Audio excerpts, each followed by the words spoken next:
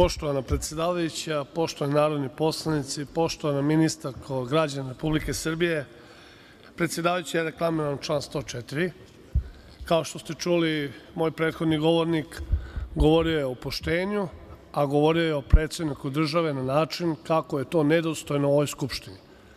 Govorio je čak o kvizu, pa je govorio o tome kako bi ga on možda pobedio u kvizu. Zaboravio je da ne mogu da ga pobede ni u nijednoj mesnoj zajednici, ni u kućnom savetu. Ne postoji kviz gde bi Dragan Đilas mogao da pobedi Aleksandra Vučića. Isto tako, da vam kažem, predsedavajući, kada prethodni govornik na ovakav način se obraća čoveku koji je pokazao koliko voli Srbiju, koji je pokazao kako se u Savetu bezbednosti, u jedinim nacijama, kako traži prijatelji u celom svetu, kako se bori za Srbiju, a ovaj čovek ga optužuje da je taj Aleksandar Vučić nešto tobož uzeo za sebe i ukrao nešto a to govori onaj čovjek koji je ukrao 619 miliona, čovjek koji je upropastio Beograd, čovjek koji je uništio Srbiju koja ne može se povrati ni nakon 10 godina, čovjek koji je uništio i napravio prah od onoga što je danas moglo da bude veliko. Taj čovjek danas se usudio da govori o onome koji bi trebao da ustane kad o njemu priča, jer taj čovjek nakon 12 godina Srbiju je podigao iznad svega onoga što su oni rušili. I sramota je da taj čovek danas u ime te cele opozicije, toj opoziciji koju on piše govore, toj opoziciji koju on privatizao, te opozicije koju on plaća, on nekom ode da drži predavanje i da drži predavanje o moralu. Sram ga bilo i svako ko to podržava. Na ovaj način urušavate sistem, na ovaj način, na ovaj način predsedavajuća, budete li nastavili da ovo omogućavate, ovome zlo, da ovako nastavi da urušava sistem i da, da urušava ugled predsednika Srbije je nešto što je nedopustivo. Hvala vam. Razumela sam kolega Bulatoviću i pre nego dam reč i pravo na repliku kolegi Milenku Jovanovu da vas obavestim da ću primeniti član 103.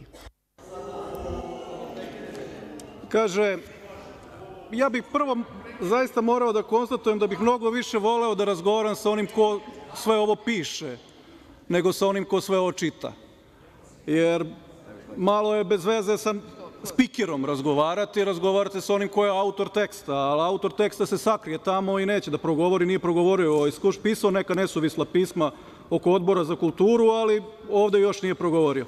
Ali dobro, jednog dana ćemo valjda i to dočekati. U svakom slučaju, kaže neko je poverovao Vuči, kaže niko mu ne veruje, samo mu vi verujete. Pa evo, sad ćemo da čitamo komu je poverovao.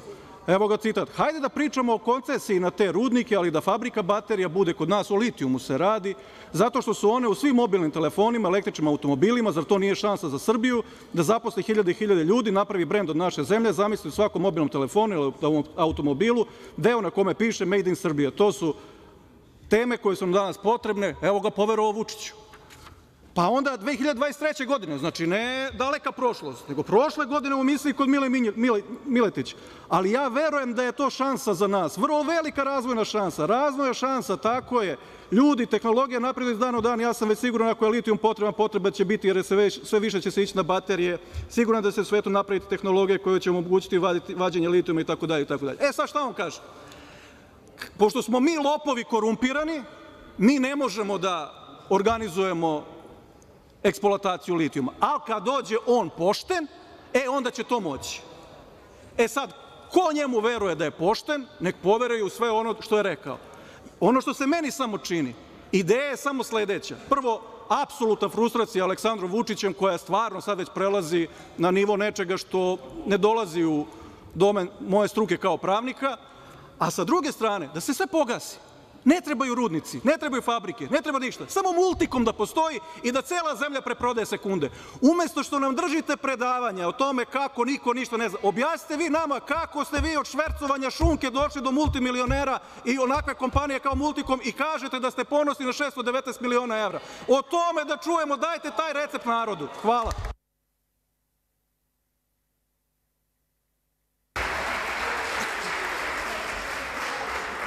Vam dam reč, predsednice, gospođo Milošević, ako samo još jednom čujem vaše dobacivanje, ja ću zaista da vas opomenem.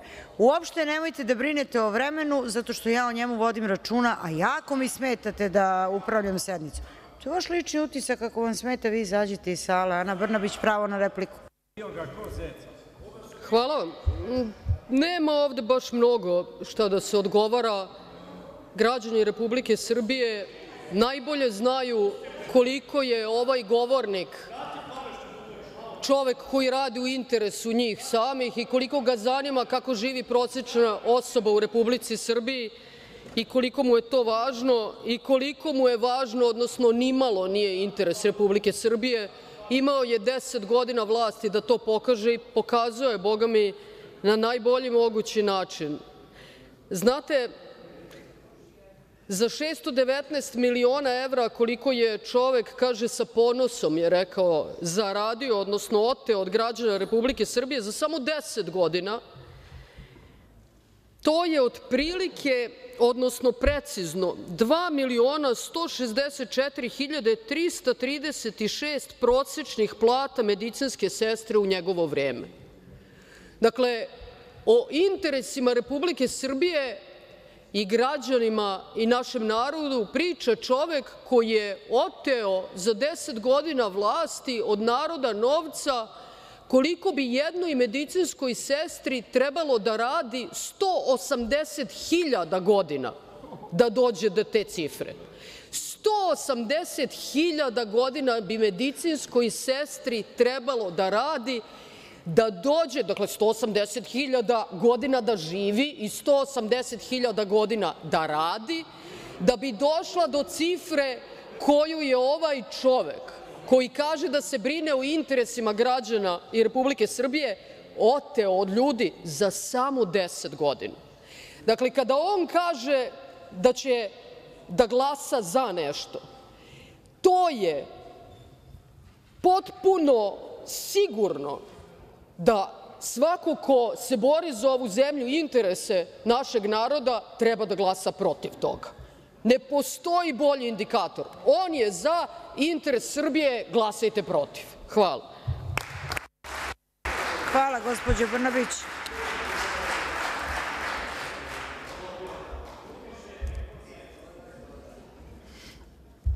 A kada ste pomenuti, gospodine Đilas?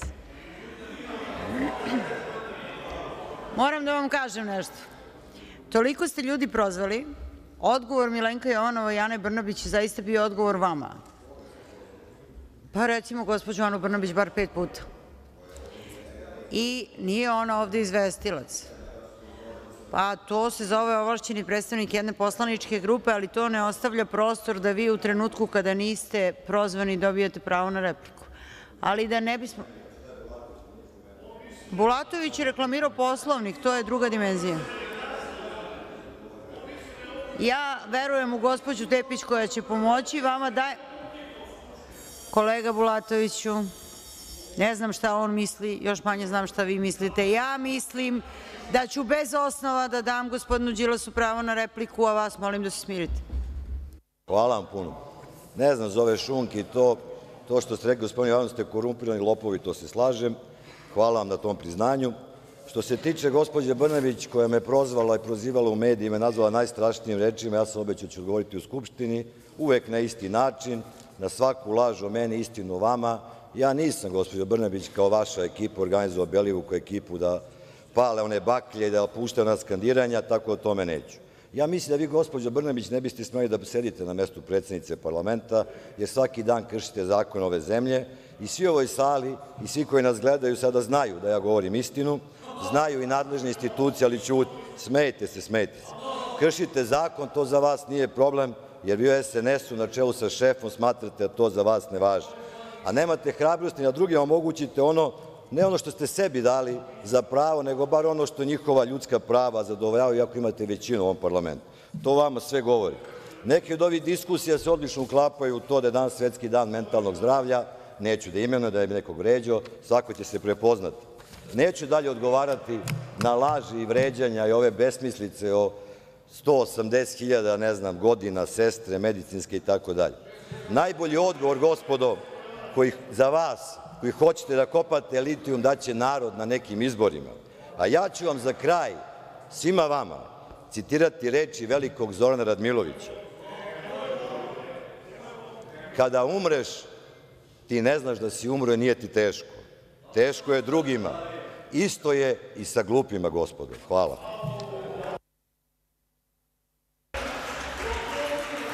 Pravo na repliku, gospođa Ana Brnabić. Izvolite. Hvala vam.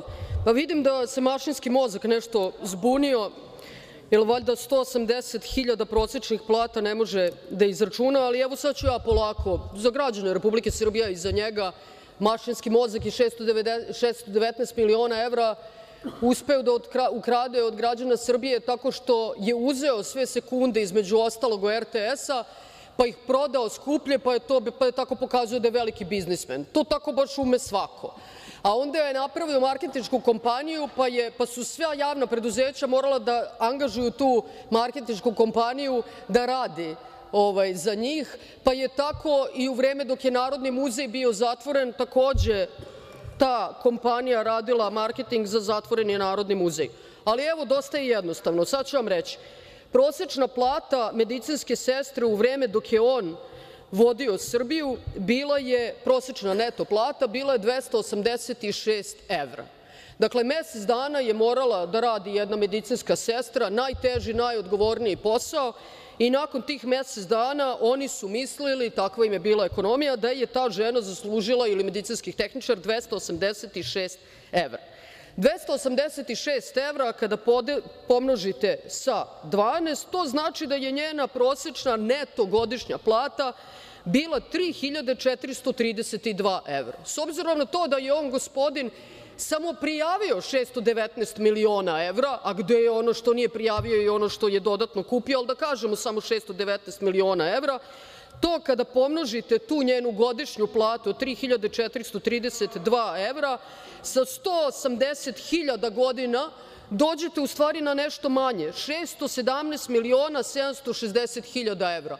Tako da je morala da živi duže od 180.000 godina, da radi od prvog do poslednjeg dana svog života, da ne plaća račune, da ne jede, da nema porodicu, da bi zaradila ono što je on oteo za 10 godina. Eto, da pomogne mašinskom mozgu. Hvala. Hvala, gospođo Brnabić. Po redosledu prijavljenih govornika Žika Gojković. Izvolite. Hvala. Napokon. Poštovana predsedavajuća, uvažena ministrice i članovi kabineta, dame i gospodo, kolege poslanici, ja sam pažljivo pročitao ovaj predlog zakona, kao što sam i pažljivo slušao skoro svakog, skoro svakog govornika, ali ovo što smo danas imali prilike da vidimo, ovu strast i ekstazu kod pojedinih govornika iz opozicije, me je stvarno ponukalo da razmislim šta se to danas desilo. I ja moram ozbiljno da vam kažem kakve su to vakcine koje mi danas i juče primamo. Da li smo primili svi iste vakcine, jer ja vidim kod nekih ljudi iz opozicije kako im se menja izraz lica, deformišu im se lice, jedan je crven, drugi je rumen, treći je i žuti crven, Tako da, iskren da budem, ja tu vakcinu neću primiti. Ova četvrdnevna rasprava je u potpunosti razotkrila svu jad i bedu, ali i raspolućenost i potpuni amaterizam unutar opozicije. Mi smo znali da su im rečnik kao i taktika skroz identični i usklađeni sa onim što govori i čini Kurti i to nije od juče i to nije slučajno. Znali smo takođe da ti ljudi nemaju ni zrno ljudskosti, pokušavajući da čak i za strašnu tragediju u Ribnikaru optuže predsednika Vučića, a sve sa ciljem ne bili pokupili jeftini politički poen, zloupotrebljavajući tugu u koju je bila zavijena cela naša zemlja i ceo region. Nešto slično se nije nikada dogodilo u iole normalnim zemljama sveta. I dok je ceo region tugovao, ovi politički lešinari su u tome videli šansu. Naravno, kako to uvek biva, istina kada kad tad izađe nevidelo, i ti politički lešinari su dobili svoje na izborima, tačnije bili su počišćeni. Ali na ovoj sednici su verovatno prevazišli sami sebe. Tačnije, pokazali su koliko su daleko svi spremni da idu u svojim lažima i teorijama zavera. Ništa drugo nije moglo ni da se očekuje, jer su ovo logične posledice izostanka bilo kakve smislene politike, a i odgovornosti čak i prema svojim biračima. Radi građana, pogotovo oni koje su ove sveznalice, a neko će reći neznalice, uspele da prevare na neki način, jer nažalost kod nas, kod našeg naroda, laž se uvek bolje primala nego istina i kad ponovite neku laž više puta, ona kod nekih ljudi, neki ljudi počnu da veruju to. I zato sam ponosan na sve kolege, svoje poslanike iz, iste, iz naše poslaničke grupe, koji strastveno iz dana u dan pokušavaju da, da pokažu šta je istina, govoreći isključivo jezikom činjenica. Zato ću to raditi i ja danas. Da počnemo. Činjenice. Činjenica je da je Rio Tinto u Srbiju došao 2001. godine. 2004. godine su dobili prva istražna prava, a 2006. i 2011. godine su se menjali zakoni upravo onako kako bi to odgovaralo Rio Tintu. 2012. godine su, litiju proglasili najvećim blagom Srbije i za to postoje dokazi, pisani dokazi. To znači da sve i kada bi država poželela da poništi sve što je potpisano za vreme vladavine DS-a i DSS-a, podsjetiću vas da su imali vlast na svim nivoima, od mesnih zajednica do republičkog nivoa, država bi plaćala takve penale da poljoprivreda, prosveta, zdravstvo bi mogli samo da sanjaju o boljim uslovima. Takođe, usvajanje ovog nakaradnog zakona unazadilo bi Srbiju u smislu da ne bi bilo nikakvih novih vodoizvorišta, da ne možemo više da gradimo kuće, puteve, jer za sve to je potrebna, su potrebna geološka istraživanja. O novim potencijalnim investitorima, da i ne govorim, bilo bi pitanje kako bismo zadržali neke postojeće. Sa druge strane, još malo činjenica. Litijum je nafta 21. veka, a za naftu se nekada, i to ne tako davno, su se vodili ratovi. Danas će litijum i proizvodi povezani sa litijumom obeležiti pravce razvoja i koncentraciju moći i interesa oko ove strateške servine, što znači da bi Srbija upravo zbog litijuma postala značajan geopolitički igrač na evropskom kontinentu. Naravno, to ne odgovara Kurtiju, to ne odgovara stranim službama, ali ono što je strašno, to ne odgovara ni nekim našim građanima koji sebe nazivaju opozicija. Jer više je nego očigledno da potreba za litijumom raste iz godine u godinu, pogotovo zbog automobilske industrije i to niko ne može da ospori, pa čak ni onaj njihov ginekolog, stručnjak koji je zalutao u ovu materiju, osim ako svoju profesiju ne dovodi u vezu sa rudarstvom i skupinama, a tada mogu samo da žalim one njegove pacijente. Ima nešto važno što treba reći i nažalost vrlo redko to možemo da vidimo čak i u sredstvima javnog informisanja. Od toga opozicija beži kao đavo od krsta. A to je da je još 2023. godine usvojen standard IRMA u Evropi koji predstavlja sveobuhvatnu standardizaciju o odgovornom rudarstvu. Te mere moraju da sprovode sve države i firme pogotovo kada je u pitanju ekološki standardi. To je dokument od nekih 170 strana gde je sve precizno i detaljno opisano i pazite, niko ne može da proda proizvod ako nije dozvoljen za taj standard. Zato oni prečutkuju iz opozicije ovo i zato nam pričaju o Madagaskaru, o, o Gvineji, pa mi smo u Evropi, gospodo. Evropa je odavno napredovala i u Evropi takve stvari ne mogu da se rade. Poštovani kolege, a pogotovo građani koji pratite ovu sednicu evo već četiri dana, a ja mislim da smo je mogli završiti za dva dana, uzgled samo da kažem da jedno zasedanje Skupštine košta oko 50.000 evra, pa neka građani vide i procene ko govori o temi, ko želi pravi boljitak za svoju zemlju, a ko želi isključivo ličnu promociju i usko stranačke kratke poene. Sada je definitivno jasno da kod ovakve opozicije nema nikakve politike, već samo populizam i demagogija protkani mržnjom prema svakome ko drugačije misli, a pogotovo patološkom mržnjom već sada prema predsedniku Vučiću, neretko, nažalost, i prema njegovoj porodici, pa čak i prema deci koja nemaju nikakve veze apsolutno niti sa litijom, niti sa bilo kakvom drugom politikom.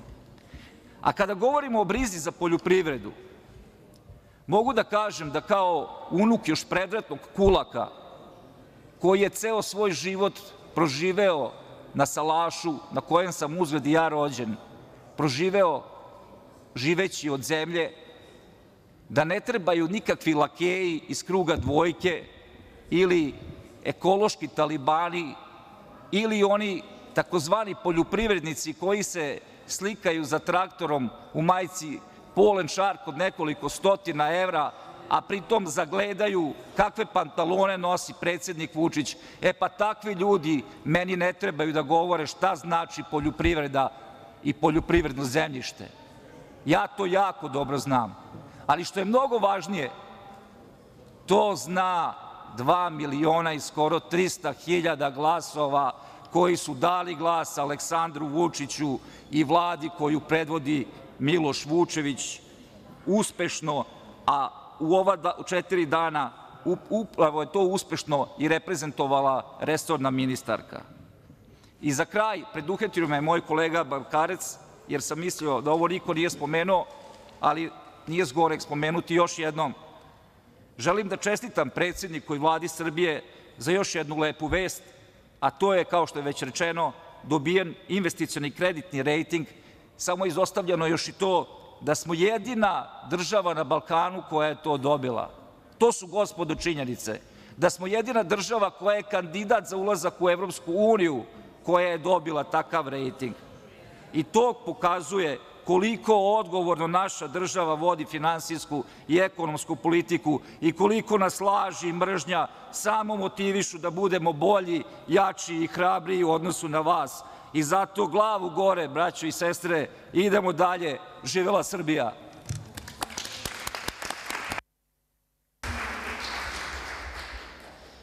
Reč ima Vladimir Pajić. Nije tu. Borislav Antonijević. Izvinite, izvinite, kako je vaše ime? Nema ni Antonijević. Pardon, doktor Milica Marušić Jablanović. Izvolite, prijavite se, molim vas. Zahvaljujem se. Negde sam se prepoznala ovaj, delimično kod ovih ekoloških talibana. Ove, htela bih da citiram mišljenje vlade koje sam imala čast da pročitam i koje kaže da će Republika Srbija da zaštiti svoje interese kroz učešće u lancu vrednosti električnih vozila i osigurati da se primenjuju najviši ekološki i socijalni standardi.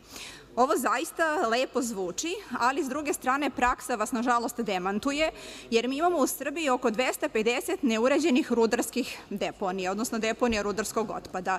I sad treba da verujemo da će odjednom ta praksa da se izmeni i da postane povoljna po nas.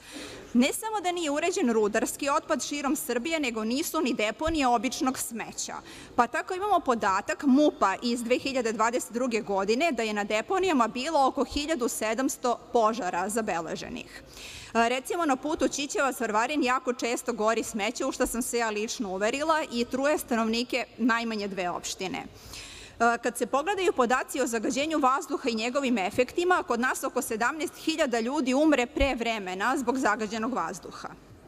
E, tako da ne znam koliko možemo da verujemo u ovo lepo sročeno mišljenje vlade. E, recimo, deponija u Vranju je imala rok upotrebe do 2018. godine e, i očekivano je da se ona, da se ona proširi, odnosno da se izgradi sanitarna deponija, zašto smo uzeli kredit. Deponije i dalje nema, ali zato ovo smetlište neuređeno gori jako često.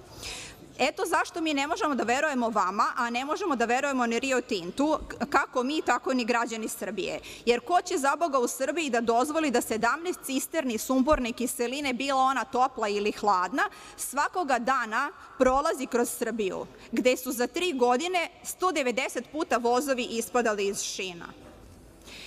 Zašto ne verujemo Rio Tintu? O tome smo govorili prethodnih dana. E, jedan od razloga je i ovaj njihov zahtev za određivanje obima i sadržaja studija o proceni uticaja, koji je zapravo prilično krnj i nepotpun, što pokazuje da oni zapravo kriju šta žele da rade u Srbiji.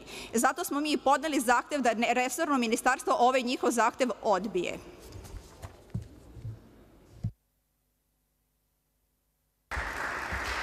Hvala. Stefan Janjić.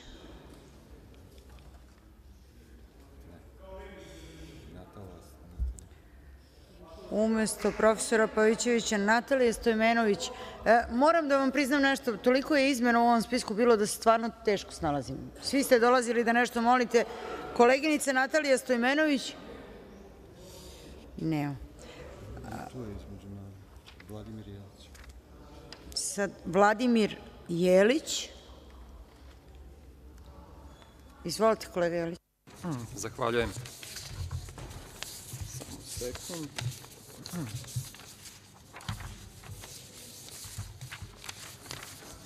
Dame i gospodo, braći i sestre, uvaženi građani Srbije, ova vlast će ostati upamćena po tri stvari.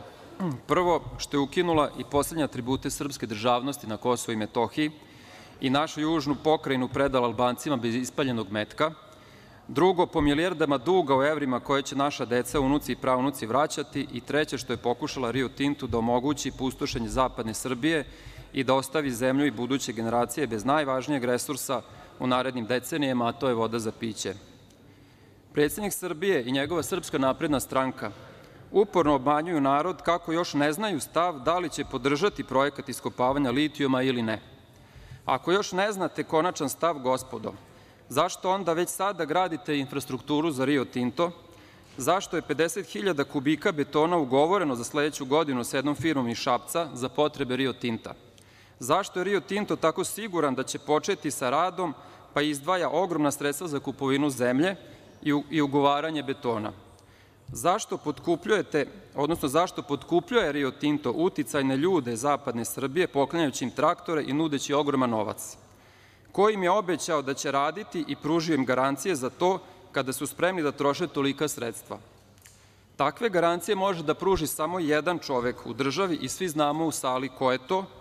To je predsednik Srbije Aleksandar Vučić, a to zna i cela Srbija i čitav naš narod.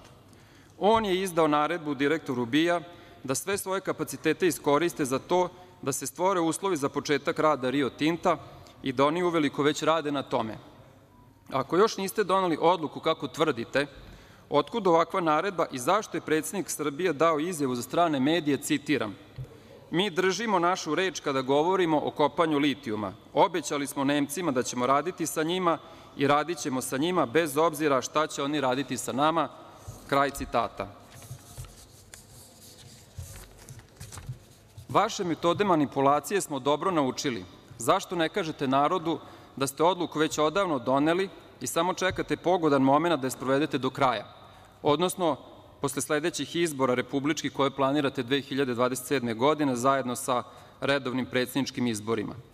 Znate i sami da ste izgubili na njima ako biste narodu rekli istinu i svoje planove za posle izbora. Zato pribegavate metodi zamajavanja građana lažnim studijama izvodljivosti i uticaja na životnu sredinu, koji će trajati dve godine, taman da dobijete na vremenu do sledećih izbora. Isto tako ste čekali da prošli republički izbori u decembru prođu, pa da priznate registarske tablice lažne države Republike Kosovo, iako ste pet godina pre toga uporno govorili da to nikada nećete uraditi. Pre izbora ste govorili da je projekat Jadar ugašen i da Rio Tinto nikada neće započeti sa radom, a onda ste odmah posle izbora ponovo otvorili pitanje iskopavanja litijuma i tako obmanuli građane, a naročito svoje glasače. Znamo za vaše planove da do 2027. godine, kao što sprovodite veleizdajnički, antiustavni i antisrpski francusko-nemački plan, korak po korak, malo po malo, gotovo neprimetno za narod u Srbiji, ali i ne za Srbe na Kosovu i Metohiji, koji tek sada vide efekte vaše vladavine. Isto tako, u naredne dve godine, jednu za drugom u tišini obezbedićete radne dozvole i menjati zakone u skladu sa potrebama Rio Tinta. U isto vreme na taj način želite da kupite još jednu podršku Zapada, da zažmure na vaše izborne krađe koje planirate i za sledeće izbore. Ne možete više varati i lagati ovaj narod, gospodo naprednjaci. Niko vam više ne veruje i svi su spoznali vaš sistem manipulacije. Krajnje neuverljivo i smešno deluje kada vi kažete da će Evropska unija i državne, odnosno vaše institucije biti garant kontrole ekoloških kvaliteta, odnosno standarda za kompaniju Rio Tinta. Da li će unija garantovati isto onako kao što je bila garant prilikom potpisivanja sa Dačićem i Vučićem Briselskog sporazuma, pa su sve tačke sporazuma koje su bile u korist Albanaca sprovedene, a samo jedna koja je bila u korist Srba, a to je zajednica srpskih opština, nije do dan dan danas, a prošlo je 12 godina. Da li će unija isto tako pružiti garancije kao i za ovaj sporazum? Zar stvarno mislite da će bilo ko iz unije da štiti interes Srbije naspram interesa najjačeg investicionog fonda na svetu, a to je BlackRock, koji je suvlasnik Rio Tinta? To je isti onaj BlackRock koji je pozajmio novac u Ukrajini da kupuje američko oružje u ratu protiv Rusije i koji daje sve od sebe da rat što duže traje kako bi se što više zaradilo. Je to taj dobrotvor BlackRock koji će da nam razvija Srbiju, kako vi kažete, isto kao što trenutno razvija Ukrajinu, pretvarajući u koloniju Zapada i u prah i pepeo? I koje to institucije države Srbije će garantovati za ispravnost projekta Jadar? Dobro znate da one više ne postoje, sve ste ih uništili u zadnjih 12 godina i one praktično ne mogu biti garant ničega. Kažete da projekat Jadar niko normal ne bi trebao ovaj, niko normal ne bi trovao svoj narod i da opozicija priča gluposti. Apsolutno netačno. Kao što su gotovo svi naši kraljevi svoju vladavinu završavali kao monasi, POKS predlaže predsedniku Srbije Aleksandru Vučiću da se zamonaši što pre i što dalje od nas u manastiru Hilandar i tako spase Srbiju od sebe i spase svoju dušu. Rio Tinto, naprednjaci i Aleksandre Vučiću nećete kopati. Hvala vam. Po redosledu prijavljenih govornika, koleginica Dragana Lukić, ja vas molim prijavite se. Izvolite. Zahvaljujem, predsedavajuća. Poštovani građani Republike Srbije, poštovane kolege narodni poslanici, poštovana ministarko sa saradnicima, najpre želela bih da se zahvalim predsednici Skupštine, gospođi Ani Brnabić, što je omogućila da se o ovom i o ovakvom zakonu raspravlja u redovnom zasedanju, jer zaista bi bila velika šteta da je opoziciji uspeo plan i da do ove rasprave ne dođe. Jer ko god pročita Predlog zakona, jasno mu je zašto su molili Boga da do ove sednice ne dođe. Zato što će, između ostalog, i onaj deo građana koji je možda verovao u čestitost namera opozicije shvatiti da je bio obmanut i da su poslužili samo kao broj na ulici u protestima koji su opoziciji potrebni da bi pokušali da se vrate na vlast, jer su u poslednjih pet godina četiri puta izgubili na izborima i trenutno ova tema im je jedina šansa za opstanak na političkoj sceni. Filozofija apsurda je i licimerje da nam danas protiv projekta govore oni koji su doveli kompaniju u Srbiju, oni koji su promenili zakon da onaj ko vrši istražne radnje automatski ima pravo eksploatacije, u ovom slučaju kompanija Rio Tinto, i time oduzeli Srbiji sva prava i mogućnost da možda ona bude ta koja će eksploatisati neku istraženu rudu ili pak da raspiše tender pa odluči ko će to da radi. Danas se protiv projekta bore i oni koji se međusobno svađaju ko se prvi setio teme ekologije. Oni kojima su uz dužno poštovanje njihove profesije, stručnjaci za ovu temu, ginekolozi i šumari. E sad, u ovom i ovakvom predlogu zakona pronašla sam jednu tačnu rečenicu. Naime, u razlozima za donošenje zakona su naveli, citiram, Ruda je dobila ime po reci Jadar, u čijoj blizini su planina Cer i reka Drina. Tačka. I to je tačno. Ali se pitam zašto nisu naveli i planinu Gučevo, koja je takođe u neposrednoj blizini. Nisu naveli zato što žele da manipulišu emocijama građana kada pominju Cer. A neki od njih su planirali otvaranje rudnika na stogodišnjicu Cerske bitke. I kao što sam rekla za ovom govornicom, i ponosno to ističem, rođena sam na obroncima planine Cer i ne mogu oni više da vole Cer od nas koji smo tamo rođeni i koji tamo živimo. I uopšte mi nije jasno zašto uopšte pominju Cer. Kad se ruda litijuma nalazi jedino u Gornjim Nedeljicama, nema je više nigde u Srbiji, pa ni na Ceru. I pošto živim u Loznici, saradnike opozicije u ovoj lažnoj borbi znam kao zlu paru. Iz toga zaista izuzimam deo iskreno zabrinutih građana koji sa strukom treba da reše sve svoje nedoumice, strahove i pitanja. Govorim o pojedinim mojim sugrađanima koji su dobrovoljno prodali svoja imanja kompaniji. Jer nikakva ekspropriacija i nikakva otimačina im nije pretila, jer niko i nikada na tim parcelama nije proglasio javni interes. I to su ljudi koji se danas kunu u čestitost, a nas nazivaju lobistima.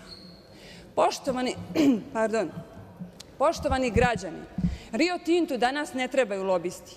Njima su sva prava zagarantovana izmenama zakona iz 2006. i 2011. godine. I tako nas lobistima i izdajnicima naziva jedna Dajana Đedović, koja se na prošlim izborima u Loznici kandidovala za gradonačelnika ispred opozicije, vodila je kampanju na borbi protiv rudnika. A ona je 2010. godine kao direktorica Centra za kulturu Vuk Karadžić u Loznici prihvatila, ponavljam, prihvatila dve donacije od Rio Tinta. Prvu u iznosu od 324.000 dinara, a drugu u iznosu od skoro 52.000 evra. I to nije sve. Njeni najuži članovi porodice prodali su imanje toj kompaniji za nekoliko desetina hiljada evra. Ona je danas Ona je danas odbornik u Skupštini grada Loznice. Dobro je, dobro je, dobro je, dobro je. Dobro je, slušajte malo. Ona je danas odbornik u Skupštini grada Loznice i dalje pljuje projekat i dalje pljuje kompaniju, a pare od prodaje zemljišta vratili nisu. Sledeći moj sugrađanin, Marko Blagojević, prodao šljivike i livade za neverovatnih 717.000 evra, takođe veliki borac protiv rudnika.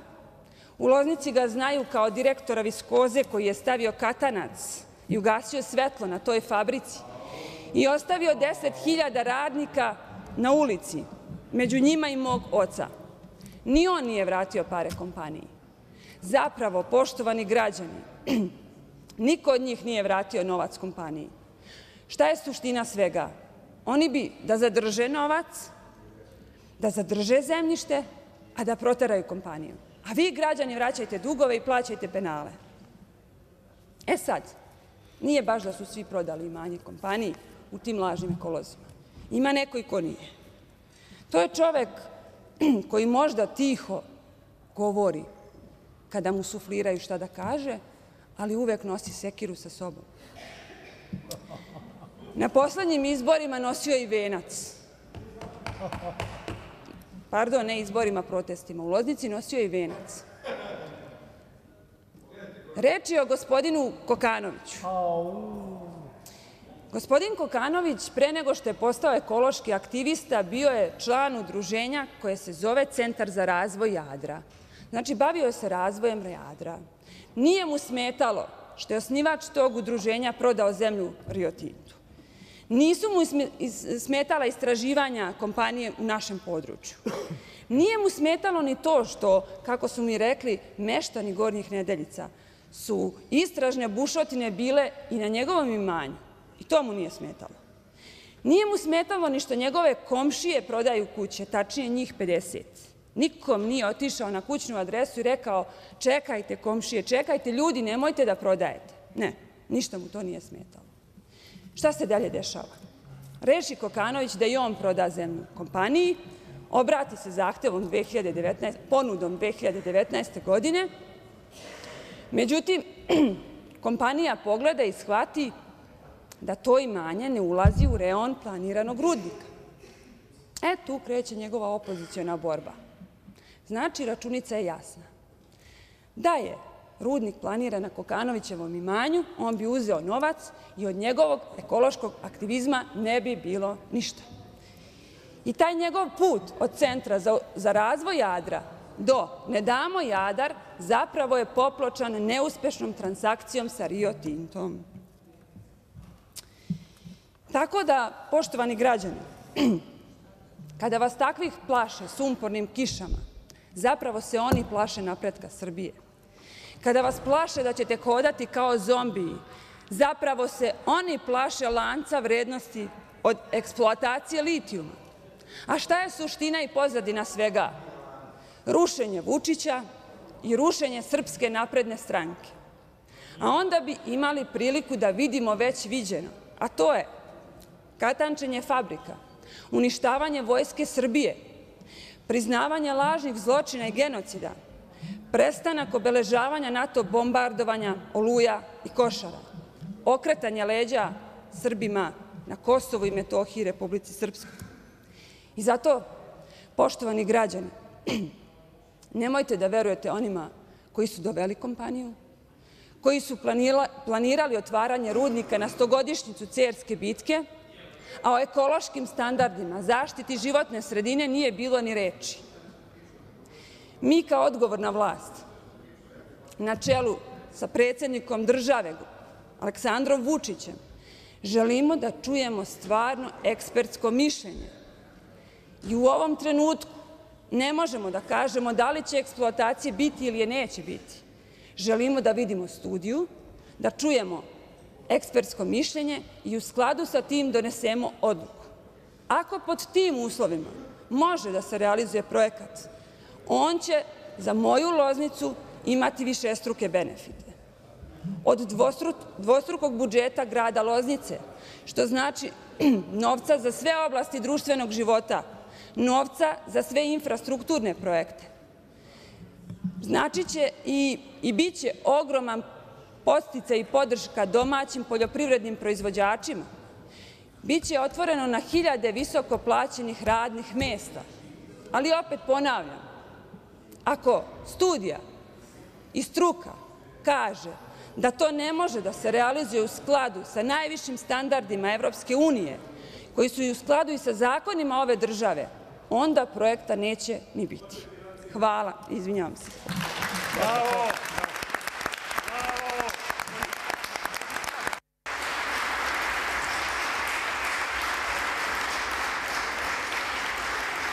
Hvala. Reč ima prema prijavi govornika dr Ana Jakovljević. Izvolite.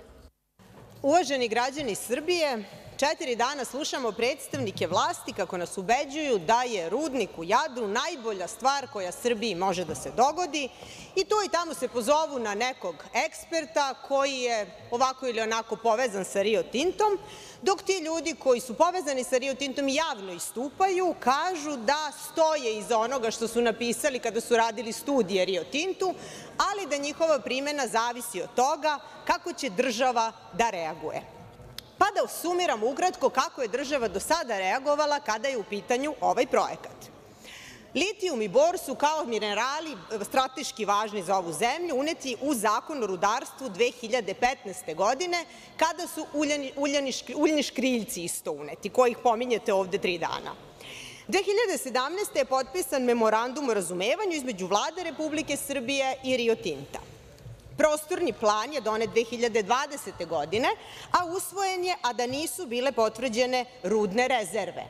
Sve se oslanjalo na ono što je Rio Tinto plasirao kroz studiju prethodne opravdanosti projekta, a koja je konačno potvrđena tek 2021. godine. 2020. godine je oformljena radna grupa koju su činili predstavnici ministarstva, direktori agencija, predstavnici stranih ambasada i finansijskih institucija, dakle bez učešća stručnjaka, koje je trebalo da se stara o implementaciji projekta Jadar. Kao rezultat toga je bio, e, bila i održana konferencija u Sanu, a i inženjer, Akademija inženjerskih nauka je napisala dopis koji ste juče čuli od mojih kolega. Nakon protesta građana, vlast je dve godine obmanjivala javnost da je stavila tačku na ovaj projekat. I to je činila u periodu od januara do 2020. godine, pa do novembra 2023. godine, kada su zapravo bili i izbori. Nakon izbora projekat je oživela suprotno odluci Ustavnog suda u kojoj se kaže da ukidanje uredbe ne znači vraćanje na pravnu snagu plana i odluke koji su ranije postojali. Znači, ona ne postoji u pravnom prometu. Šta je trebalo uraditi? Sačekati da se donese republički prostorni plan, a kasnije plan posebne namene koji bi ovoga puta morao da uzme u obzir činjenicu da je planina Cer 2023. godine stavljena pod posebnu zaštitu države. E, sada čujemo da čekamo da se završi postupak koji je pokrenut i gde stručnjaci treba da kažu sve o ovom projektu. Pa da pogledamo i taj postupak. On je započet u septembru i pokrenula ga je Rio Sava, tako što je podnela zahtev za određivanje obima i sadržaja studije o proceni uticaja na životnu sredinu u skladu sa Zakonom o proceni uticaja na životnu sredinu. Ova saglasnost je jedan od važnih koraka ka dobijanju dozvole za eksploataciju. Uvidom u navedeni zahtev javnost je mogla da vidi da on nije valjano popunjen, jer na mnogim delovima ne daje odgovor na ono što se zahtevom traži. Čak na momente liči kao sastav one devojčice koja kada je trebalo da piše o sovi, pisala je o kravi, jer o sovi ništa nije znala.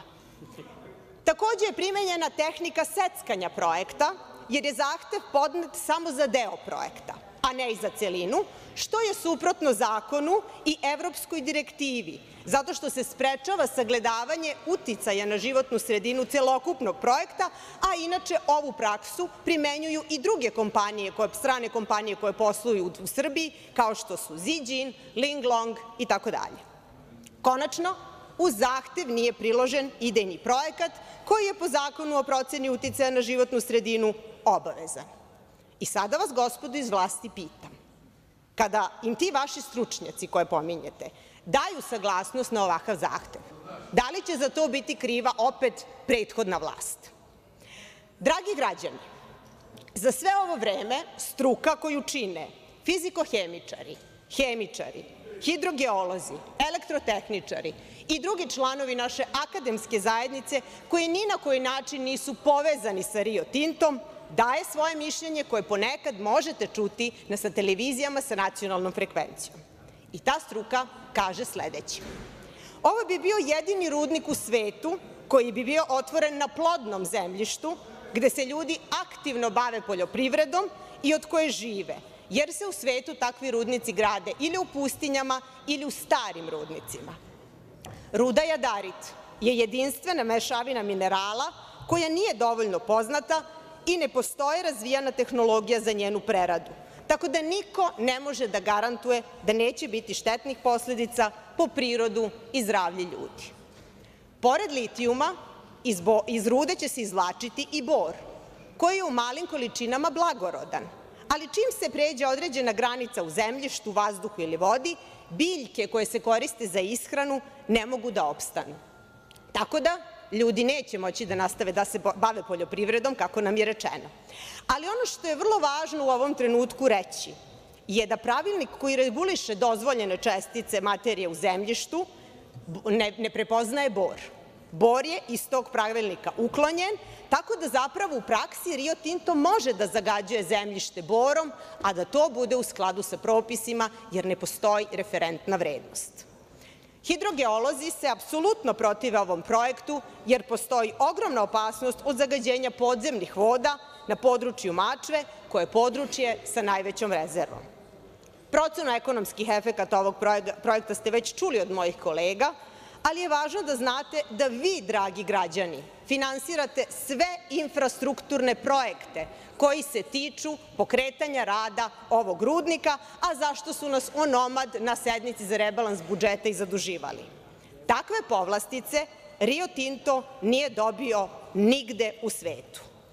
Ono što bih isto volela da pitam predstavnike vlasti, da li su proverili gde su nestale karte Geozavoda o rudnim bogatstvima Srbije koje su naši naučnici decenijama pravili na osnovu istraživanja. Ko će odgovarati za njihov nestanak? Pa utvrdite ko je, ko, ko, je prodao i gde su nestale.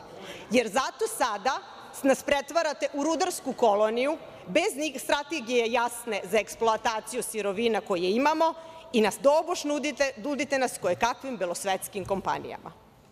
Narodni pokret Srbije, koji nikada nije bio deo republičke vlasti, je zajedno sa kolegama iz opozicije predložio ovaj zakon, jer ste do sada, gospodo, pokazali kako kroz ovaj projekat, tako i kroz praksu rudarenja u Boru i Majdanpeku, da apsolutnu nemoć da valjano sprovodite zakone ove zemlje i da brinete o životnoj sredini i zdravlju građana naše zemlje. Vreme. Pričate o životu... Završite misao, vreme vaše poslaničke grupe je potrošeno. Dobro. Ono što želimo da kažemo je da ovaj zakon sprečava da rudarite na način kako ste do sada rudarili, to je ideja, i da prosto ako mislite da ćete u Jadru ovako raditi, nećete kopati. To je poruka građana iz Nedeljice, stručnjaka i ostalih građana i svih nas iz Narodnog pokreta Srbije i opozicije. Zahvaljujem. Reč ima narodni poslanik dr Živan Bajić. Hvala. Uvažena predsedavajuća, uvažena ministarka, poštovane koleginice i kolege narodni poslanici, mislim da je veoma dobro što smo ova protekla četiri dana imali priliku da raspravljamo o ovoj temi koja je do sada delila našu javnost i što smo imali priliku da pokažemo koliko se laži i neistina nagomilalo na oko ovog projekta koji može predstavljati izuzetno veliku šansu za budući razvoj naše zemlje. Mislim da je Vlada Republike Srbije, kada je vratila projekat Jadar na ponovno razmatranje, pokazala pre svega veliku odgovornost prema svojim građanima i prema budućnosti ove zemlje, jer ne odustaje se tako lako od projekta koji za koji ukoliko se pokaže da se može sprovesti bez negativnih efekata po životnu sredinu, našoj zemlji može doneti veliku ekonomsku korist, ali ono što je još važnije, svrstao bi nas među one zemlje koje bi na svetskom nivou dale nemerljiv doprinos u borbi protiv klimatskih promena. Lično ne mogu govoriti o uticaju rudarenja na životnu sredinu, nisam za to zaista dovoljno stručan, ali ono što jeste očigledno i što sigurno sam svi mnogo bolje razumemo jesu ekonomski efekti koje ova potencijalno najveća greenfield investicija u istoriji naše zemlje može doneti našoj zemlji. Preko 3.000 novih radnih mesta u toku izgradnje samog rudnika, zatim preko 1.300 iznad proseka plaćenih radnih mesta u toku eksploatacije i prerade rude, stotine miliona eura novih u budžet Republike Srbije na osnovu poreza i rudne rente, ali ono što je najvažnije jeste da će većina rude ostajati u Srbiji da se kao sirovina koristi za proizvodnju gotovih proizvoda, što će u Srbiju dovesti visokotehnološke investicije za proizvodnju katoda, baterija i konačno električnih automobila koji će otvoriti preko 20.000 novih radnih mesta i budžetu Republike Srbije doprineti sa novih 11 milijardi eura godišnjeg prihoda. Ali pored svih tih ekonomskih benefita koji su više nego očigledni, odgovorni ljudi koji vode ovu državu i predsednik Republike Aleksandar Vučić i predsednik Vlade Miloš Vučević i svi članovi Vlade od samog starta naglašavaju da projekta neće biti ukoliko se pokaže da postoji bilo kakva mogućnost da se našteti životnoj sredini. Opozicija bi želela da paušalno, olako zabrani iskopavanje litijuma, da se veoma lako iz političkih razloga odreknemo ove komparativne prednosti koju smo dobili od prirode i od Boga, da nešto zabranimo bez toga da je urađena i studija uticaja ovog projekta na životnu sredinu.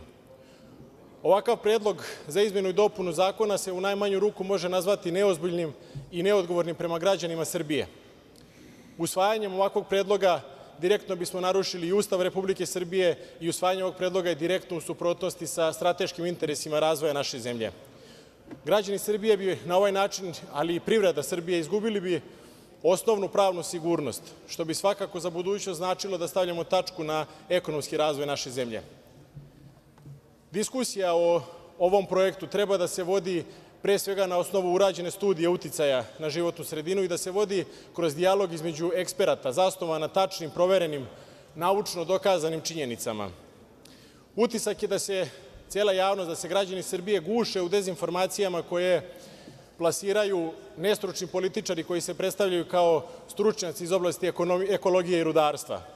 I sam predlog za izmenu zakona je pun neistina i obmana za građane Srbije, od načina za preradu rude do toga da će se litijum iskopavati i u onim krajevima Srbije gde litijuma nema. Ali ono što je još gore jeste da je građanima Srbije u proteklom periodu bila uskraćena mogućnost da se pravilno informišu o ovom projektu, pre svega iz razloga što svaki ekspert koji bi se usudio da kaže nešto o rudarstvu ili rudarenju ili ovom projektu, a da je suprotno interesima opozicije, bio bi etiketiran, ako ne i javno linčovan. Na takav način mi nikad nećemo, ne bismo imali mogućnost da dobijemo sve prave činjenice o ovom projektu.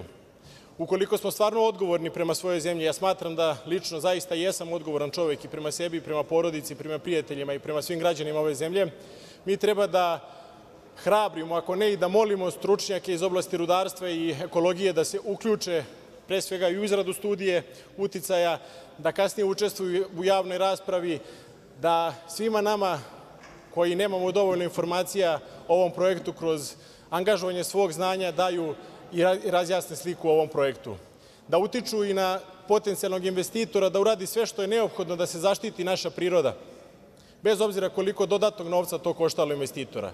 I zaista, litijum treba iskopavati samo ukoliko se pokaže da nema štetnih i negativnih efekata po životnu sredinu. Ukoliko struka bude rekla ne na kraju, neka to bude ne, ali hajde da sačekamo da nam stručnjaci iz navedenih oblasti kažu, a nakon njih i nadležne institucije šta je najbolje za Srbiju. Međutim, uzimajući u obzir činjenicu da će najrazvijenije zemlje Evrope iskopavati litijum, da u tim zemljama nema antilitijumske histerije, da je Evropa litijum označila kao strateški važnu sirovinu, siguran sam da se u 21. veku mogu pomiriti ekologija i ekonomija, da se sve može raditi po najvišim standardima zaštite životne sredine i da tako treba pristupiti i ovom projektu. Nažalost, pokazalo se da je ovo tema na kojoj opozicija želi da sruši Aleksandra Vučića, ali na njihovu žalost građani Srbije znaju ko je u proteklih 12 godina vodio odgovornu politiku, ko ima jasnu viziju budućeg razvoja Srbije. Zahvaljujući toj politici Srbija je danas i ekonomski i finansijski stabilna zemlja. Srbija je jedina zemlja kandidat za članstvo u uniji koja je dobila investicioni kreditni rejting. U Srbiji se danas grade putevi, pruge, bolnice, škole, otvaraju se fabrike, otvaraju se nova radna mesta, rastu plate, rastu penzije. U Srbiji se ulaže u kapitalne projekte i još jedna od ključnih stvari koje će doprineti budućem razvoju naše zemlje, izložba EKSPO će u Srbiju dovesti čitav svet. E tako treba pristupati odgovorno prema građanima Srbije, truditi se da se ne propusti ni jedna šansa koja može doneti dobro građanima ove zemlje. Na takav način treba pristupiti i ovom projektu, projektu koji može doprineti da naša zemlja dobije mnogo povoljniju i stratešku i političku poziciju, projektu koji nas može odvesti u društvo najbogatijih i najrazvijenijih zemalja Evrope. Ne smemo i nećemo dozvoliti onima kojima su njihovi lični politički interesi ispred interesa građana Srbije da zaustave razvoj naše zemlje. Živela Srbija i hvala.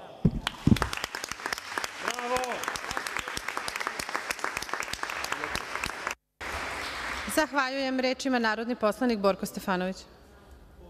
Molim da se prijavite. Izvolite. Hvala, gospođo predsedavajuća. Poštovani građani, kolege poslanici, čuli ste niz argumenata zašto bi bilo važno prihvatiti ovaj predlog zakona, zbog čega smatramo da u ovom trenutku, uz nedostatak države, uzurpirane institucije, nedostatak nadzora, garancija, je štetno i može biti katastrofalno po našu zemlju, po zdravlje građana, po životnu sredinu, da sada realizujete projekat iskopavanja litijuma u Srbiji.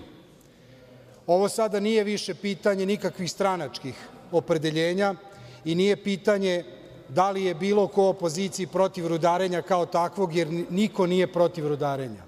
Niko nije protiv progresa naše zemlje. Ono protiv čega smo jeste da se po svaku cenu i svom silom pokušava od strane ove vlasti, koja se svela na lobiste Rio Tinta, progura ovaj projekat koji je sumnjiv, koji nema garancije i koji može vrlo lako, znajući šta ste uradili u Boru, šta ste uradili u Linglongu, šta ste uradili na Staroj planini, šta ste uradili na drugim mestima i u Beogradu na vodi, da dovede ili do ugrožavanja zdravlja ili do masovne korupcije. Nije normalno, poštovani građani, da bilo koja kompanija se stavlja ispred interesa vas, ispred interesa ove zemlje.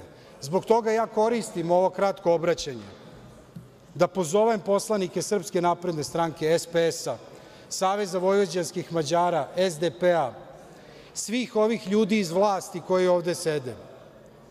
Glasajte za ovaj zakon zato što će vaše izjašnjavanje i prozivkom vašeg imena pored vas zauvek stajati jedno ogledalo kroz koje ćete moći da se pogledate, ali vam se neće svideti to što vidite.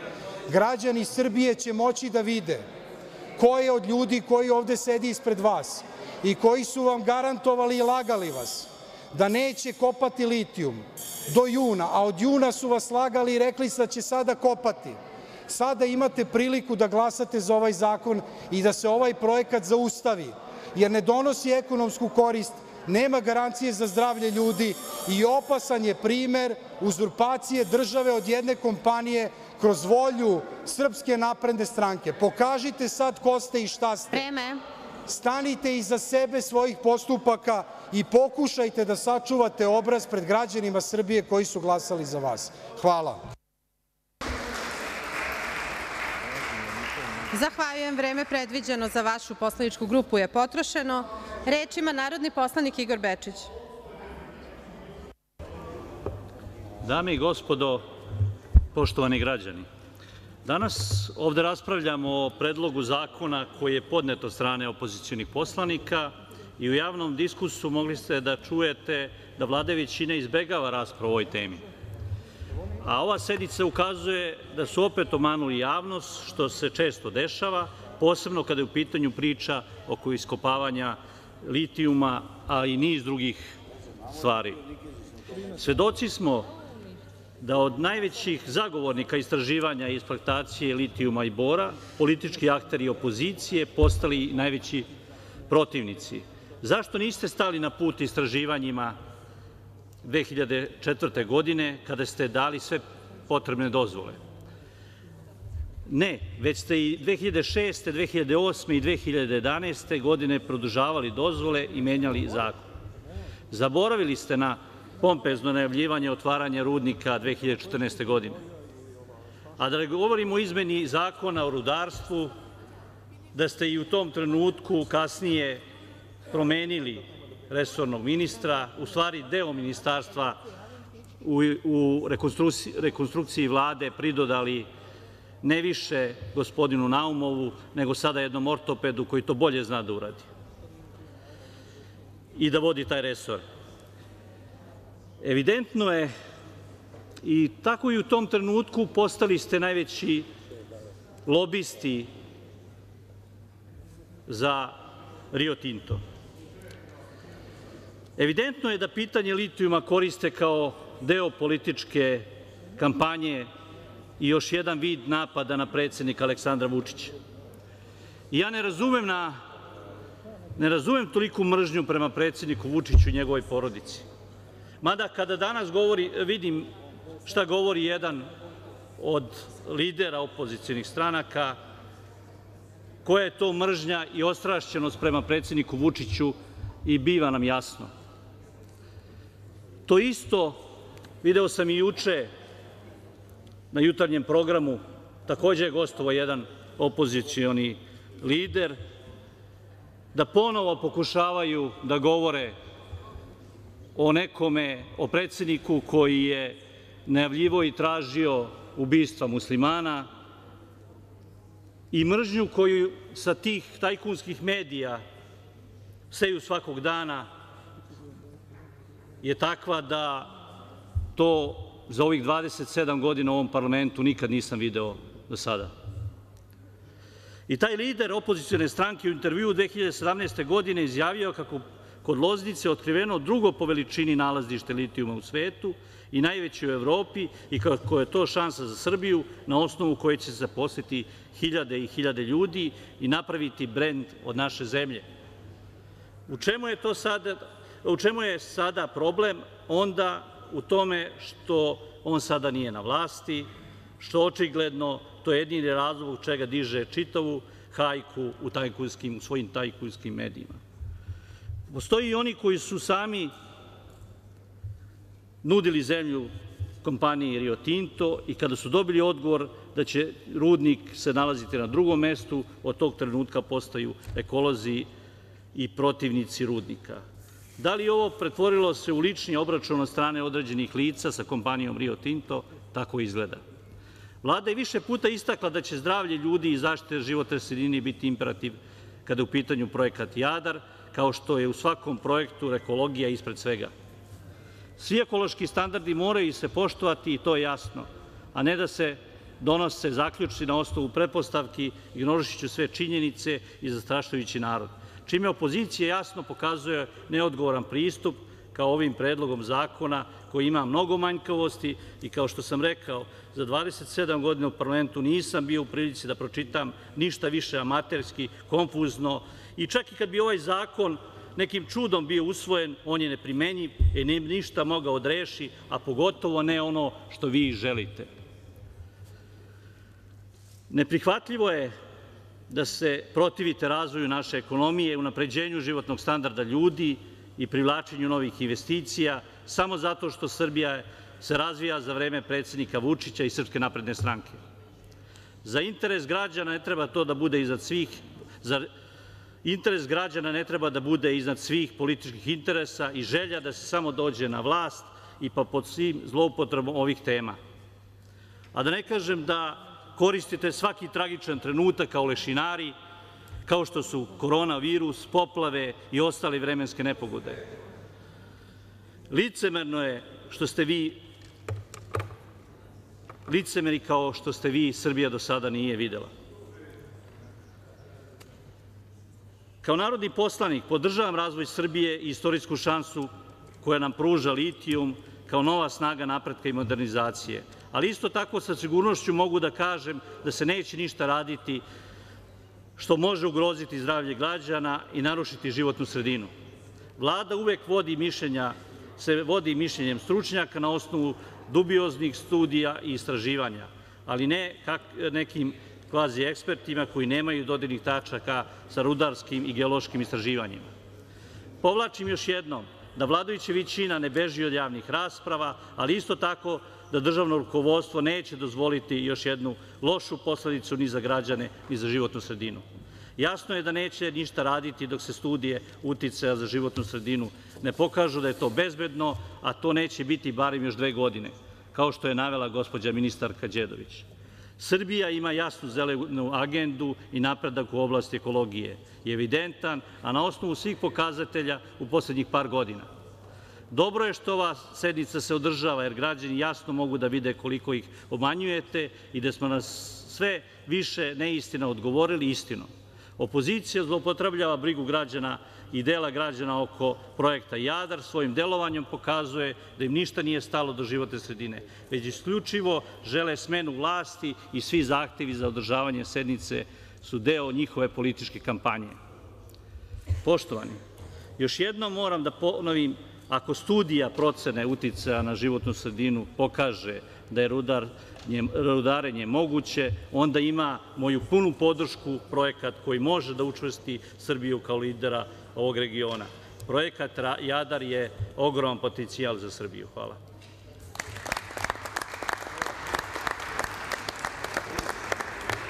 Zahvaljujem. Reč ima narodni poslanik Dragan Jonić.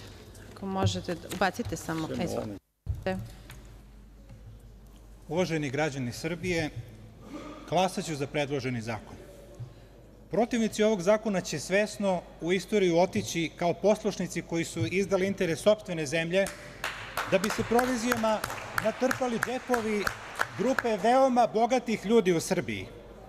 Ali se to neće desiti jer neće kopati. Još pre izbora u decembru 2023. Međunarodni časopis Ekonomist je znao da će se sa projektom Jadar nastaviti posle izbora kada se smanji pritisak na Aleksandra Vučića. Zamislite. Zato Srbiju mesecima opseduju domaći trgovački putnici Rio Tinta koji hvale robu ovog ekološkog zulumčara i obećavaju gomile para koje će se valjati ulicama Loznice i cele Srbije. Znate, mudre ljudi kažu da ako se neko busa u grudi i zaklinje u patriotizam i narodnu korist, kad taj neko ode, proverite da li su vam svi prsti na broju i gde su vam cipele i novčanik. Reči ministarka Đedović Handanović, koju nažalost ne vidim ovde, da je litijum neophodan za produžavanje lanca proizvodnje. Njega u baterijama ima samo 2%, a potrebni su u mnogo većoj količini i mangan, i kobalt, i nikl, i aluminijum, i grafit. Pa da li nam to ministarka sprema još najmanje pet rudnika, recimo na Zlatiboru i u plodnoj Šumadiji, gde su velike rezerve kobalta i nikla. I jadna je ta kuknjava, Rio Tinto su doveli oni pre nas. Pa vi bre kao onaj nemački fruloš dovodite horde pacova u ovu zemlju. I ako samo time možete da se branite, bušna vam je ta odbrana, kao i brane Rio Tinta kroz koje se nekontrolisano izlivaju otrovi. Zato nećete kopati. Hvala.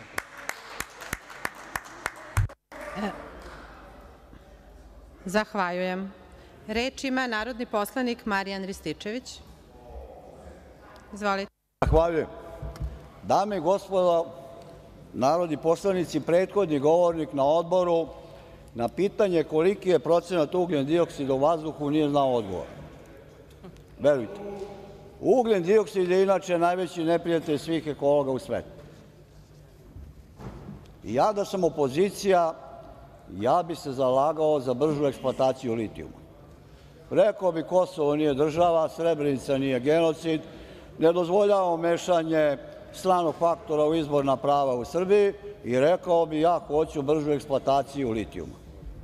Ali gle čuda, oni se zalažu sasvim suprotno od toga.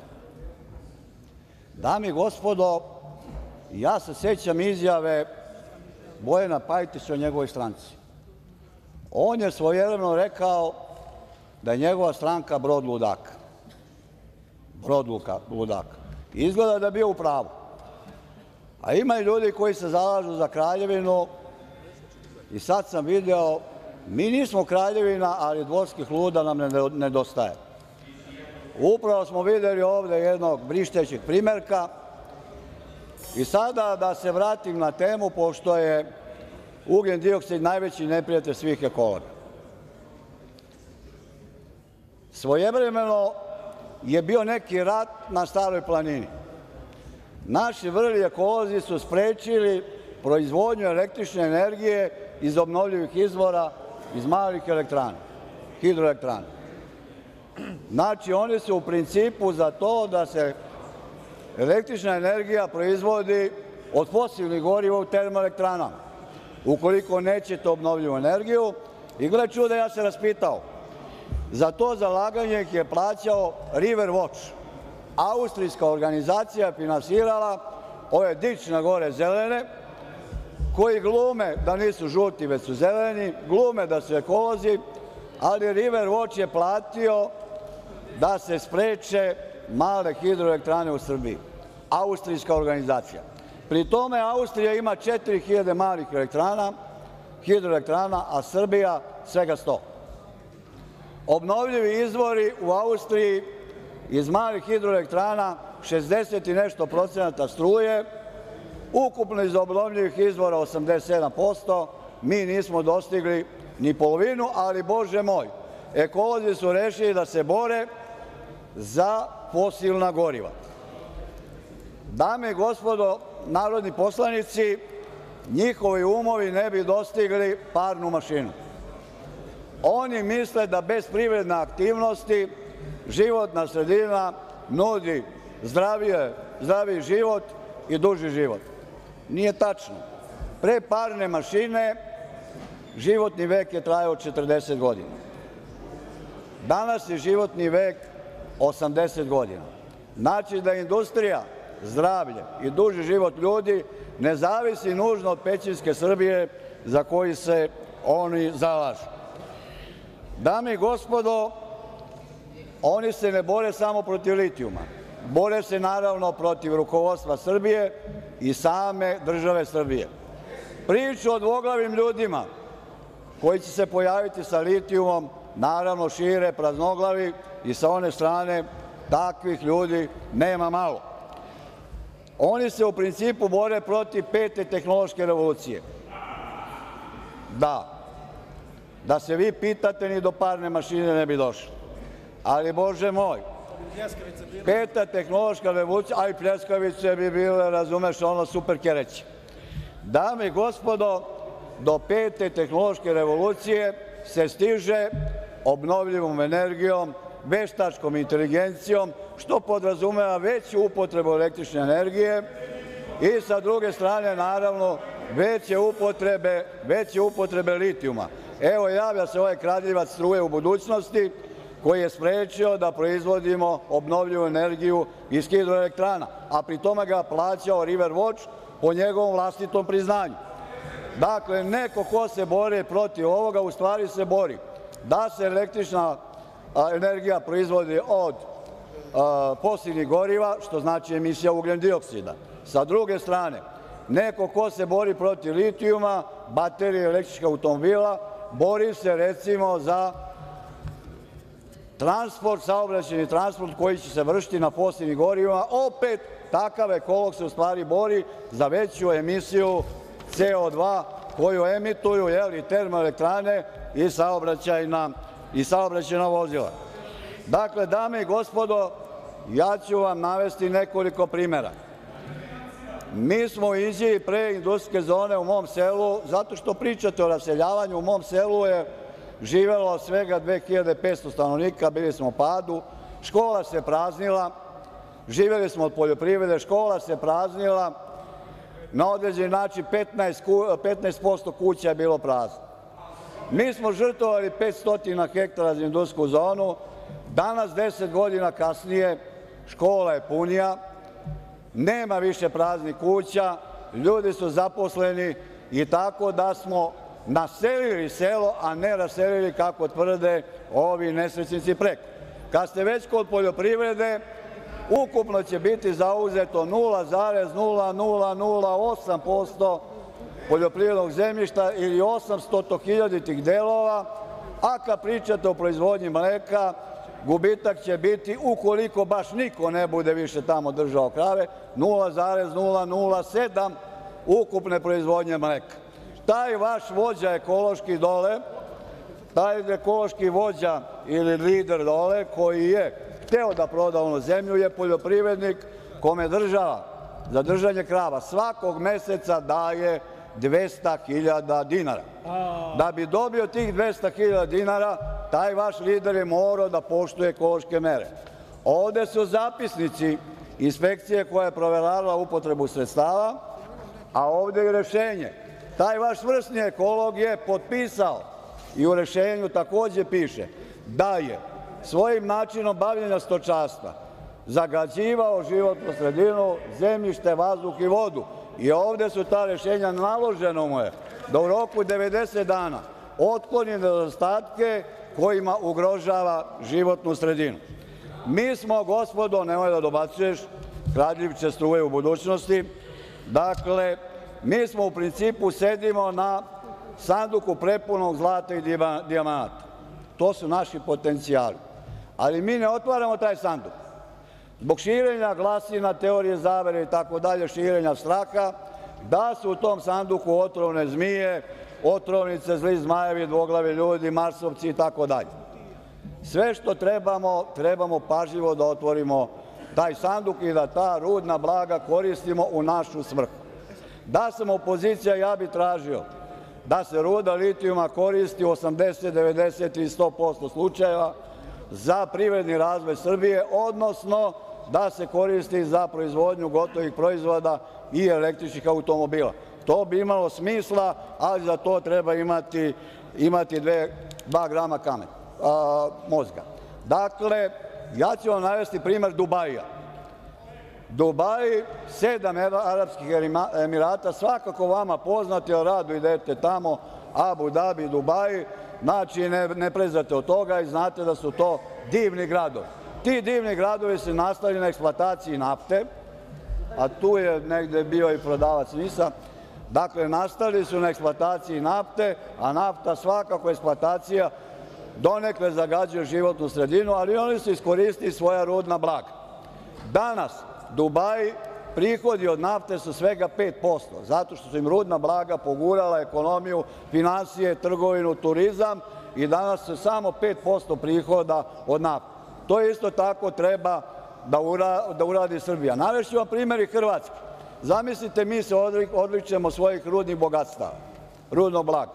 Zamislite kad bi se Hrvatska, koja ima 2 miliona turista i 15 milijardi evra prihoda, odrekla turizma zato što turizam i 20 miliona turista i 100 miliona noćenja bitno ugrožava životnu sredinu u hrvatskom priobalju, znači priprema hrane, prevozna sredstva, 6 miliona ulazaka, 6 miliona izlazaka.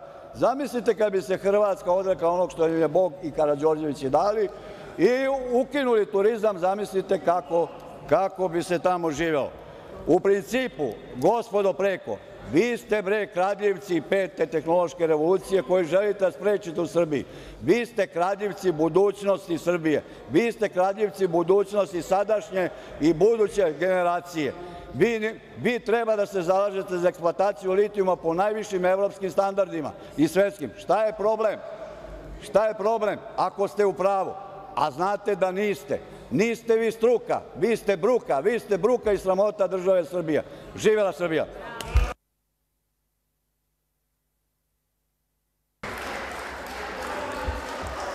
Reč ima,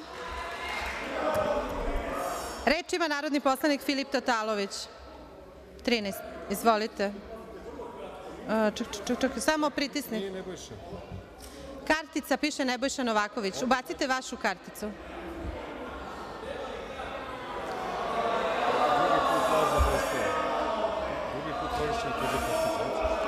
Sledeći put je to korišćenje tuđe kartice i daje... Filip Tatalović, izvolite. Hvala.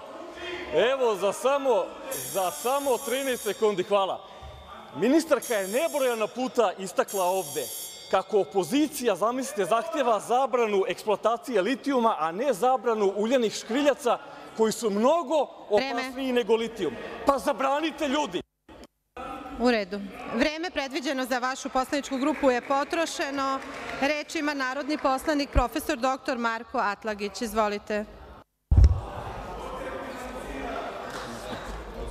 Poštovani građani Republike Srbije, poštovani narodni poslanici i vi koji mislite da ste narodni poslanici, a niste, pošto niste polagali zakletvu u ovom visokom domu pred narodnim, državnim i nacionalnim simbolima naše zemlje. Ako bi Narodna skupština Republike Srbije izglasala ovaj nakaradni Predlog zakona o izmenama i dopunama Zakona o rudarstvu i geološkim istraživanjima, to bi, poštovani građani, bio pucanj u ekonomski i industrijski napredak naše zemlje i pucanj u budućnost naše dece. U ovom predlogu zakona u obrazloženju opozicija je nama ponudila mišljenje takozvanih eksperata za litijum i navela mišljenje jednog ginekologa i jednog šumarskog inženjera, a gle čuda, juče dodala i mišljenje takozvanog profesora Danicu Popović, dokazanog naučnog lopova, pošto je ukrala knjigu svom kolegi profesoru Babiću i na bazi toga dobila profesuru.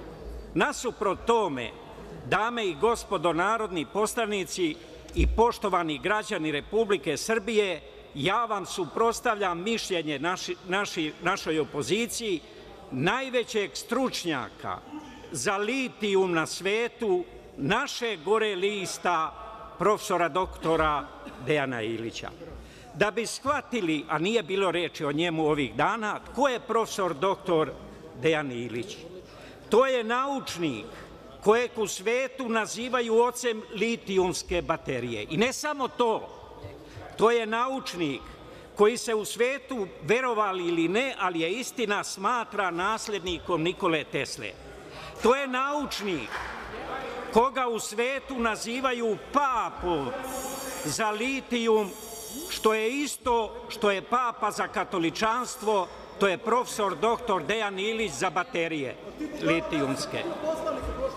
To je stručnjak koji ima više stotina patenata i ne samo to, to je naučnik koji je tri godine proglašavan za inovatora godine. I ne samo to, to je naučnik tvorac mikrobaterije litijumske.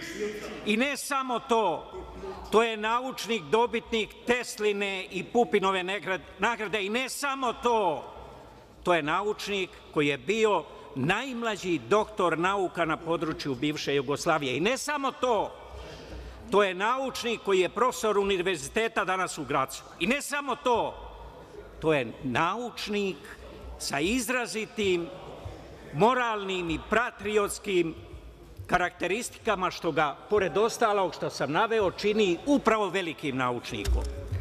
Šta on kaže o litijumu? Valjda ćete imati obzira, pa ćete poslušati, a poštovani građani, vama se posebno obraćam. On kaže, citiram, što je nekad bila nafta za Kuvajt, to je to može biti litijum za Srbiju, završen citat. I dodaje, citiram, litijum je jedan od najlepših metala, litijum postoji u našem organizmu, mi ga svakodnevno koristimo, završen citat. Poštovani građani, vidite koliko vas plaše ovih dana naša opozicija.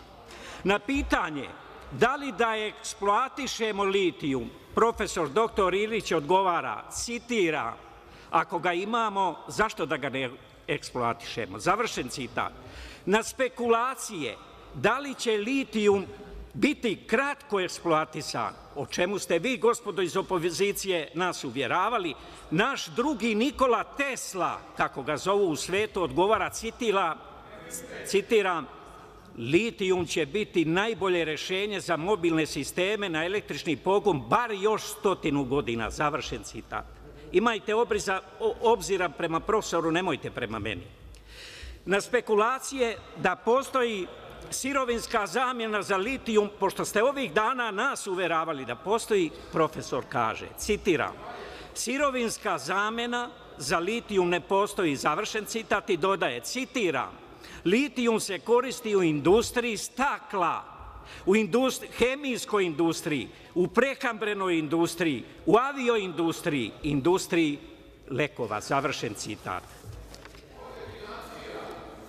Na pitanje koliko su opravdani strahovi, što ste nas vi ovih dana i građane uveravali i strašili, koliko su opravdani strahovi od litijuma, profesor Ilić odgovara, citiram, strahovi od litijuma su neutemeljeni, klasični demagozi su oni koji se bore protiv litijuma.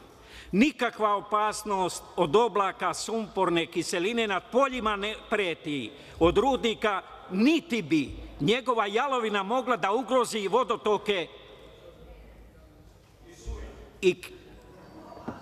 i kiše, padavine od kiša i poplava, završen citat. I na kraju, životna sredina i litijum, o čemu ste nas uveravali tri dana. Profesor kaže – treba objasniti ljudima da će se napraviti uslovi da se životna sredina zaštiti, što smo vas i mi uveravali ova tri dana. Treba objasniti da se ne radi o litijumu, nego ostacima sumporne kiseline koja bi se koristila pri eksploataciji, a da ona treba da se hemijski preradi, da ne utiče na životnu sredinu o kojim vi niste ni reč govorili ovih dana i niste hteli da slušate narodne poslanike koji su sa ove strane iznosili. Tada, kaže profesor, može da se eksploatiše litijum. Poštovani građani Republike Srbije, vama se obraćam. Za Srbiju je litijum izuzetna razvojna šansa koju nikako ne smemo da zanemarimo.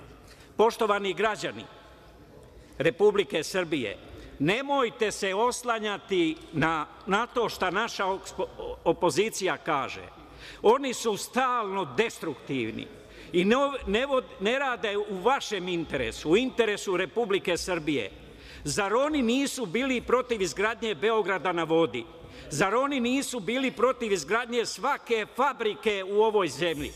Zar oni nisu bili protiv izgradnje autoputeva, protiv izgradnje brzih pruga, protiv uvođenja interneta u školama? Glasali su svi 2017.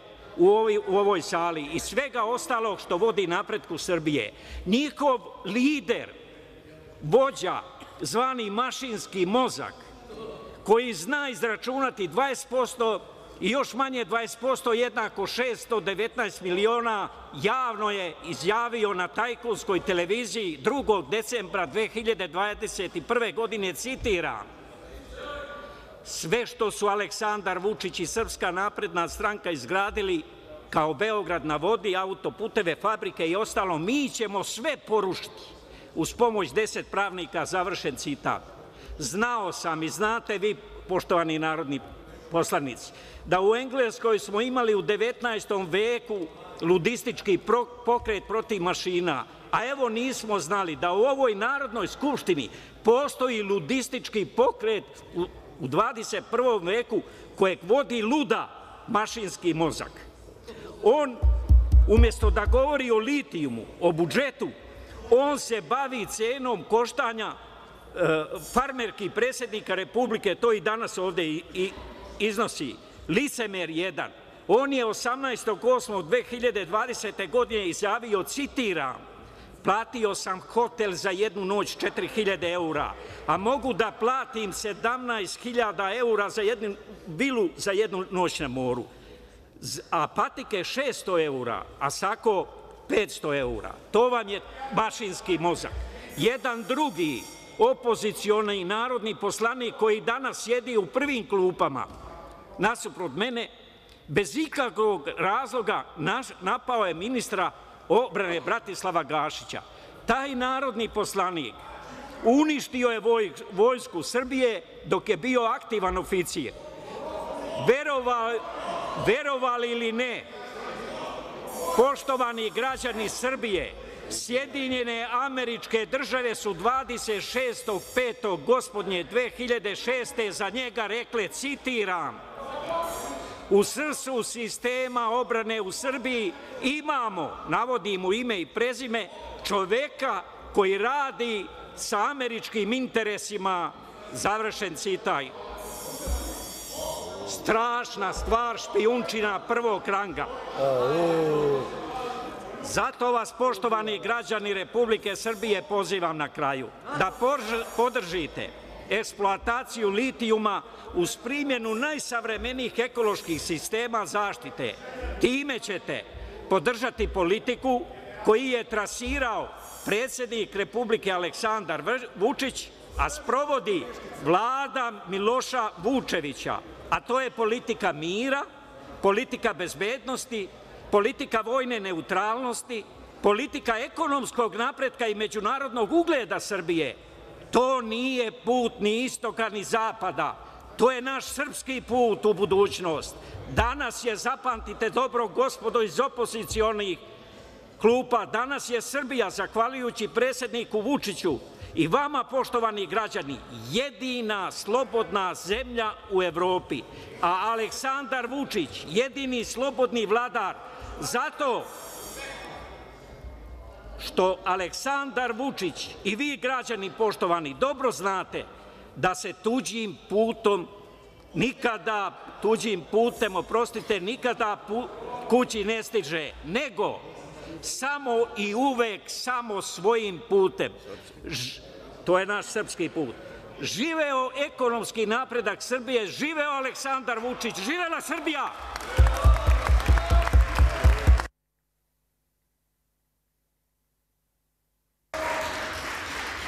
Zahvaljujem. Reč ima narodni poslanik Đorđe Pavićević. Hvala. A, mogu da počnem, inače, ono, ako možete da utišate ove sa druge strane, jer oni očigledno i ne žele a, da slušaju ništa, nego da pričaju ovakve pričice kakve smo do sada a, slušali i ono što hoću da kažem jeste da mi ovde raspravljamo o zakonu koji ima realno samo jednu posledicu i nije čudno što mi ovde svi govorimo o projektu Jadar, iskopavanju litijuma i što govorimo o Rio Tintu.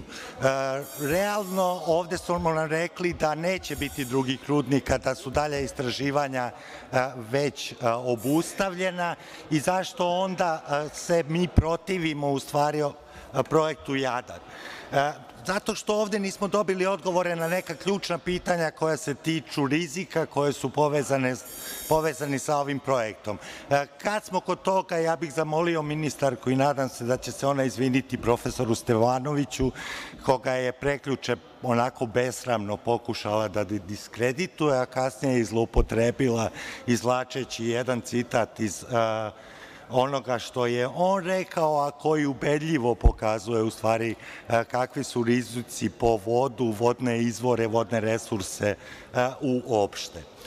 Šta nam umesto toga vlast govori ovde? Govori nam da sačekamo da se izradi studija, a umeđu vremenu nam čitaju delove nacrta studije kao da je to gotova istina. Kažu nam da će eksperti ili da eksperti treba da imaju poslednju reč, a ovde nam pljuju neke ugledne ljude, ugledne eksperte koji su rekli već ono što misle o ovom projektu i sprečavaju recimo neke fakultete da se izjasne o tome šta misle o projektu, projektu Jadar.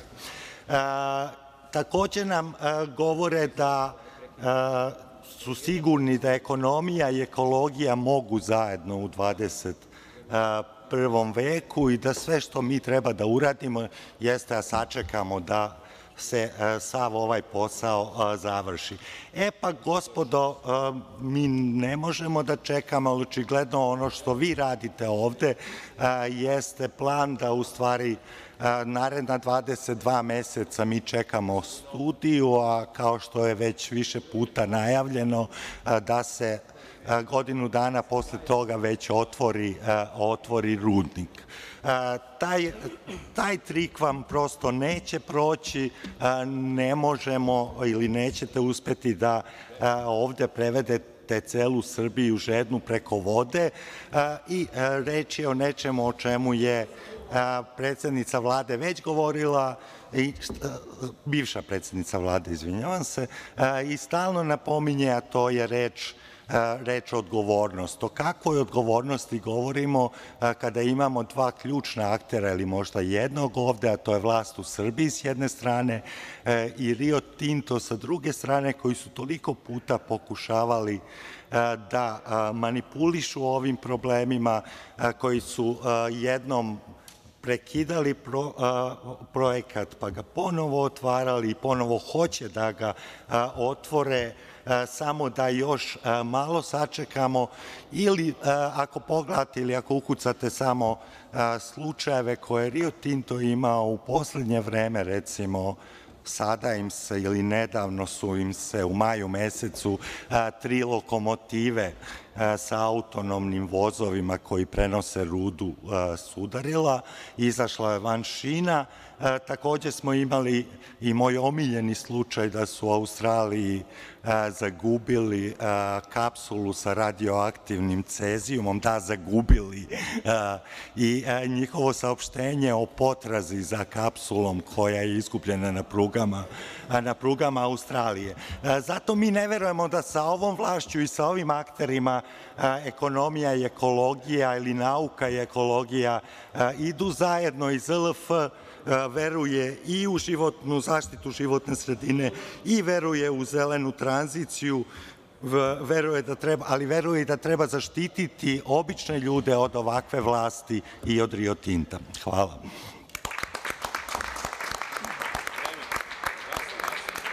Zahvaljujem. Reč narodna poslanica Dubravka Filipovski. Samo se prijavite. Izvolite. Hvala predsedavajuća, uvažene koleginice i kolege, poštovane građanke i građani Srbije, pa evo mi ovu raspravu o predlogu ovog zakona privodimo kraju zato što poslaničke grupe troše vreme, ali je evidentno da kako u predlogu ovog zakona, tako i u dosadašnjoj raspravi mi smo samo mogli da čujemo kontradiktorne i neistinite informacije kojim opozicija, odnosno predlagači ovog zakona traže da se zabrani rudarenje litijuma.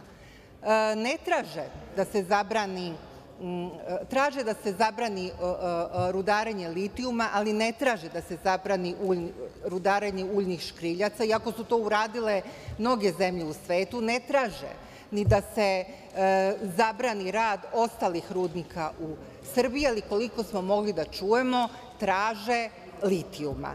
I sve ovo što radite oko rudarenja litijuma mene podseća na period kada je opozicija bila protiv izgradnje Beograda na vodi, kome je prethodilo čišćenje Savskog priobalja i legla prljavštine pacova i zmija. Danas, gospodo draga, Beograd na vodi srpskoj ekonomiji je doneo 9,7 milijardi i to je vizija jednog čoveka, predsednika Srbije, koja je na sreću svih građanki i građana Srbije postala realnost. Vizija o kojoj vi možete samo da sanjate. I kao što sam rekla, s obzirom da smo čuli, da nismo čuli ni jedan ozbiljan argument za zabranu iskopavanja litijuma, više je nego jasno da je vaša namera nešto drugo, u stvari rušenje predsednika Vučića, jer kad već to do sada niste uspeli na protestima prošle godine, koristeći tragediju koja je zaista zasenila Srbiju i kad to niste uspeli na izborima, hajde da probamo sa lažima o litijumu, pa ćemo onda da nastavimo tamo gde smo stali. I za mene je potpuno jasno, jer kako drugačije objasniti e, nameru predlagača, odnosno da dosadašnji predlagači su imali bezbroj prilika da ovu priču završe, ali nisu to uradili. Nisu jer su znali, kao što i danas znaju, da je rudarenje litijumom velika šansa za Srbiju, koja će Srbiju podići i tehnološki i ekonomski i u demografskom pogledu. Šta se jedino promenilo od perioda kada ste bili za rudarenje litijuma do današnjeg dana? Pa promenilo se jedino to što ste vi, gospodo iz opozicije, godinama već u dubokoj opoziciji, bez ikakve šanse da se domognete vlasti i što uporno, a bezuspešno tražite koje je to pitanje na koje ćete moći nešto da ušićarite. I moja poruka je vama da ste pogrešili po ko zna koji put i da morate da nastavite da i dalje tražite, jer je rudarenje litijumom razvojna šansa Srbije koju će ova zemlja iskoristiti, a od nas se samo traži da budemo pametni i da budemo odgovorni i da sačuvamo našu životnu sredinu. Za razliku od perioda od 2008. do 2012. godine, kada ste potpuno urnisali Srbiju, kada je 500.000 ljudi bilo na ulicama jer nisu imali posla, kada je samo iz Podrinja 30.000 ljudi se trajno iselilo, ovaj projekat će te ljude vratiti u Podrinje. I samo u početnoj fazi ovaj projekat će zaposliti nekoliko hiljada ljudi, a onda će dovesti i do toga da Podrinje dobije i nove škole, nove zdravstvene ustanove i da jednostavno imaju i lokalne puteve. Znate li samo da je Loznica, grad Loznica, svoj budžet udvostručio od 2012. do današnjeg dana samo zahvaljujući dolasku e, kineskog Minta? O litijumu i rudarenju litijuma da i ne govorim. Ja, to je rekao ugledni ekonomski svetski list Wall Street Journal, koji e, predviđa da će e, bruto društveni proizvod Srbije e, biti povećan za 4%. Ja bih vas zamolila, jer smo, kao što sam rekla, pri kraju ove rasprave, evo da imate još uvek priliku da nam date jednu ideju, ali samo jednu ideju koja će e, udvostručiti bruto društveni proizvod za upola manje od litijuma i ja ću vam prva reći svaka vam čast. Ali vi znate da je to nemoguće i da jednostavno tako nešto ne postoji i vi vrlo dobro znate da je eksploatacijuma litijuma razvojna šansa za Srbiju, kao što vrlo dobro znate da će se rudarenje litijuma raditi pod najrigoroznijim mogućim uslovima i vi znate koliko je danas važan litijum za Srbiju i koliko je važno da mi kao zemlja budemo uključeni u najbogatije i najnaprednije tehnološke lance u svetu i hajte samo jednom u našoj istoriji da na vreme nešto uradimo, da uđemo u jedan vagon blizu lokomotive i da posle ne žalimo za propuštenim šansama. I zato što sve ovo vrlo dobro znate, a predložili ste ovakav zakon, ja nemam više ništa da vam kažem drugo, osim da treba da se stidite što preko ovako važnog pitanja za Srbiju vodite jednu besomučnu političku kampanju.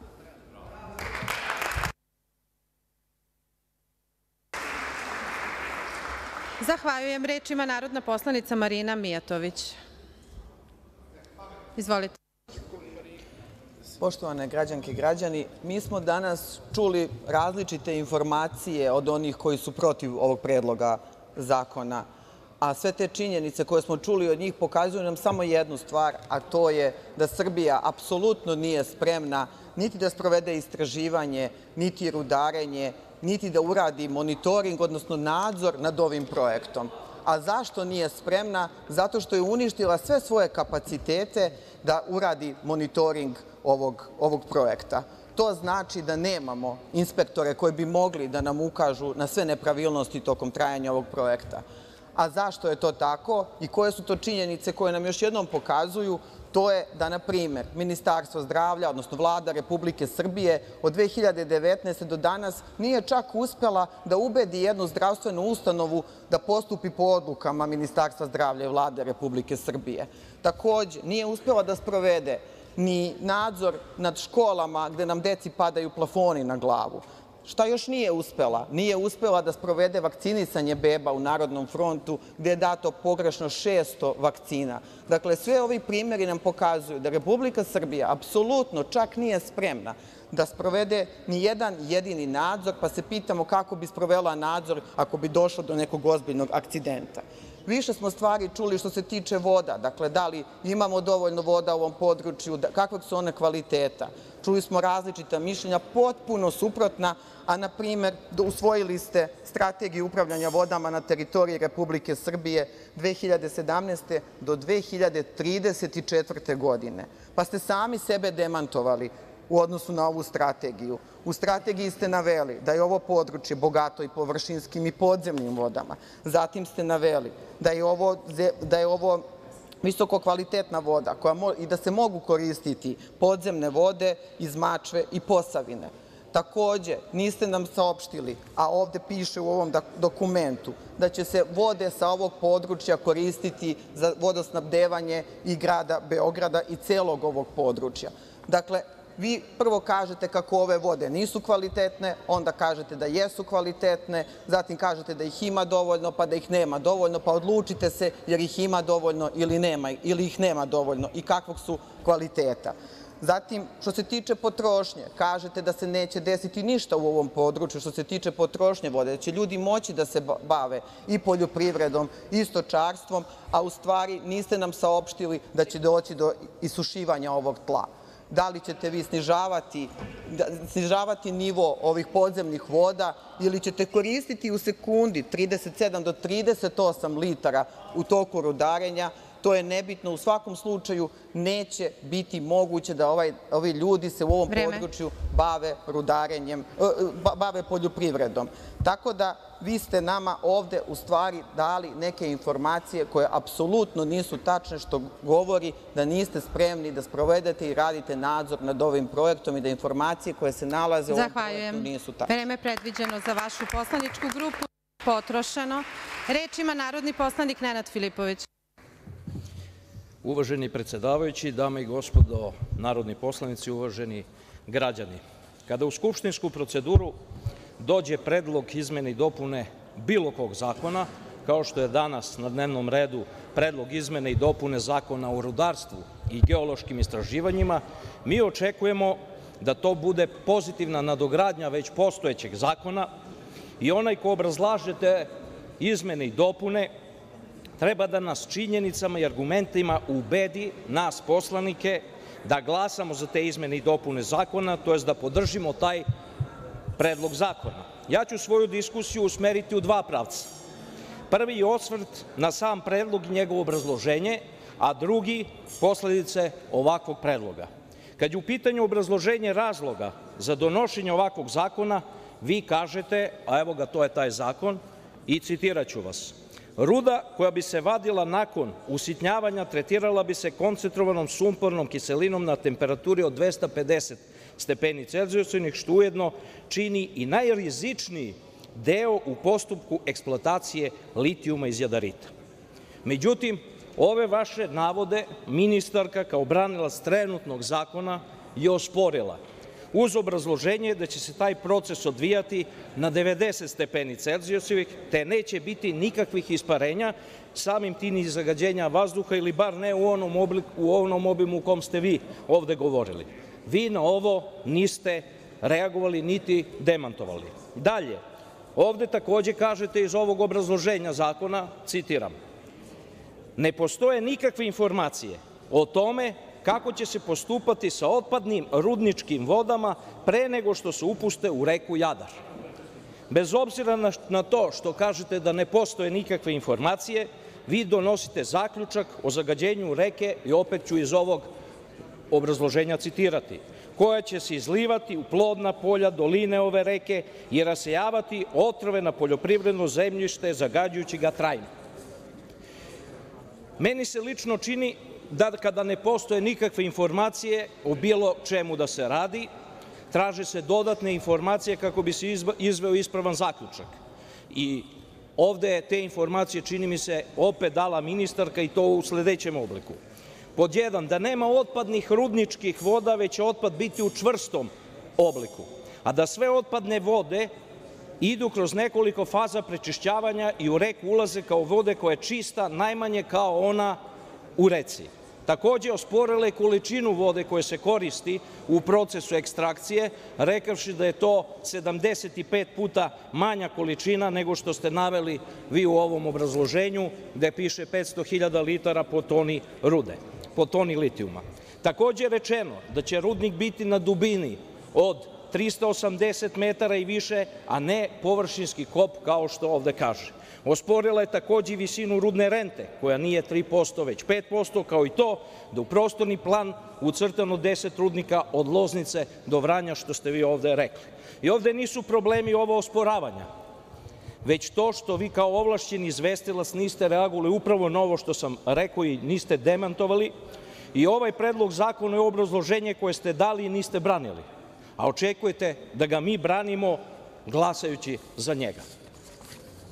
Naravno, ja sam ovde više puta čuo, i ne samo danas u ovoj raspravi, da neće doći do, nikakvo, do nikakve eksploatacije rude jadarita dok ne budu ispunjeni svi ekološki i socijalni uslovi, kao i to da ovaj projekt traje već dve decenije i da u narednih dve godine sigurno neće početi, ako uopšte i počne, dok se ne ispune sve analize. sada bih krenuo na onu drugu stvar. Posledice ovakvog predloga zakona, ovakvim, ovakvom kampanjom koja traje su dalekosežne, jer ide dalja polarizacija društva i to ne bi bio problem da je to politička polarizacija, što bi bilo i normalno u političkoj borbi pozicije i opozicije. Ovde je reč o masovnoj polarizaciji, to je polarizaciji mase, koja znatno opasnije i utiče na međusobne odnose običnih građana.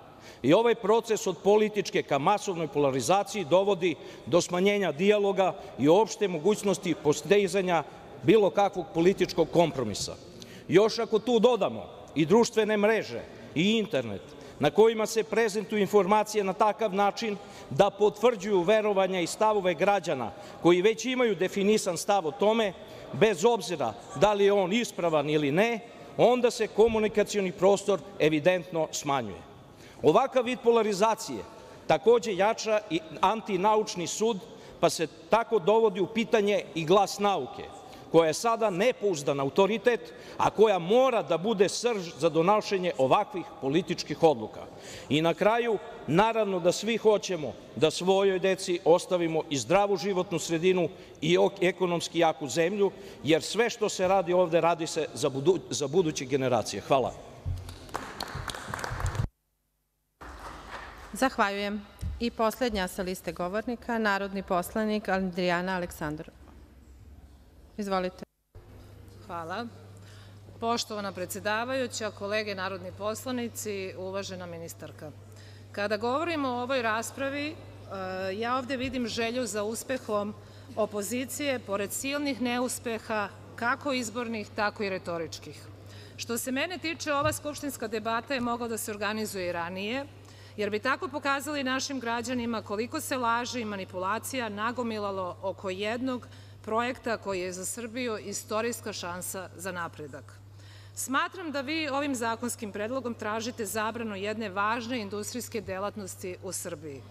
Dakle, tražite da se zabrani eksploatacija litijuma, a litijum se smatra hemijskim elementom budućnosti, jednim od ključnih za uspešnu zelenu energetsku tranziciju. Znamo da je litijum neophodan za proizvodnju baterija, koje predstavljaju osnov za potpuni prelazak na obnovljive izvore energije. Naravno da prilikom eksploatacije moraju da se ispoštuju sve procedure, jer je na prvom mestu, ponovit ću, na prvom mestu zaštita životne sredine i zaštita naših građana.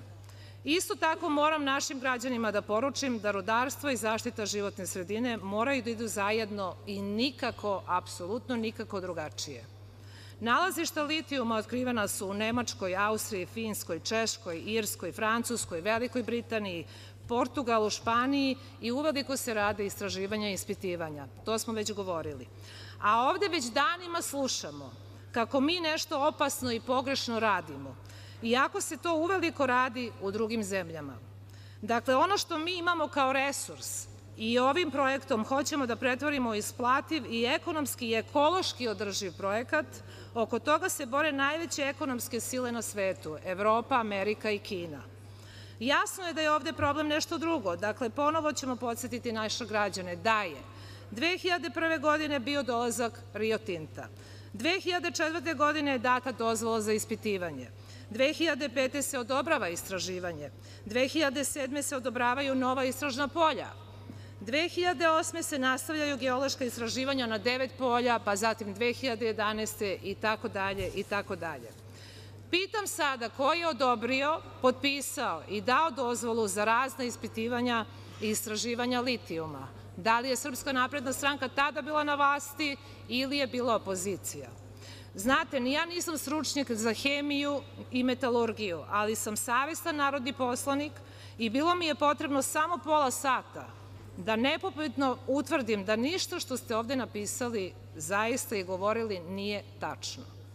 Mi ne možemo da dozvolimo da vi uništite jednu istorijsku šansu za ogromnim ekonomskim napretkom Srbije. Vađenjem litijuma i fabrikom baterija Srbija postaje najprivlačnije mesto za ogromne investicije, kako u automobilskoj industriji, tako i u drugim granama različitih delatnosti. Koliko je samo to novih radnih mesta, želim da obavestim naše građane i da pitam. Koliki je to napredak za ekonomiju zemlje? Koliki je porast BDP-a? Naši građani treba da znaju da postoje javno dostupne informacije na temu litijuma i to kredibilnih stručnjaka, jer mi apsolutno ništa nemamo da sakrijemo. Srbija je na čelu sa našim predsednikom Vučićem ide, zapravo Srbija na čelu sa našim predsednikom Vučićem ide ka društvu najrazvijenijih i najbogatijih država Evrope i to sa čistom i zdravom životnom energijom. Smatram da je ovaj projekat naša istorijska šansa i Srbija tu šansu ne sme i neće da propusti. Hvala vam. Zahvaljujem.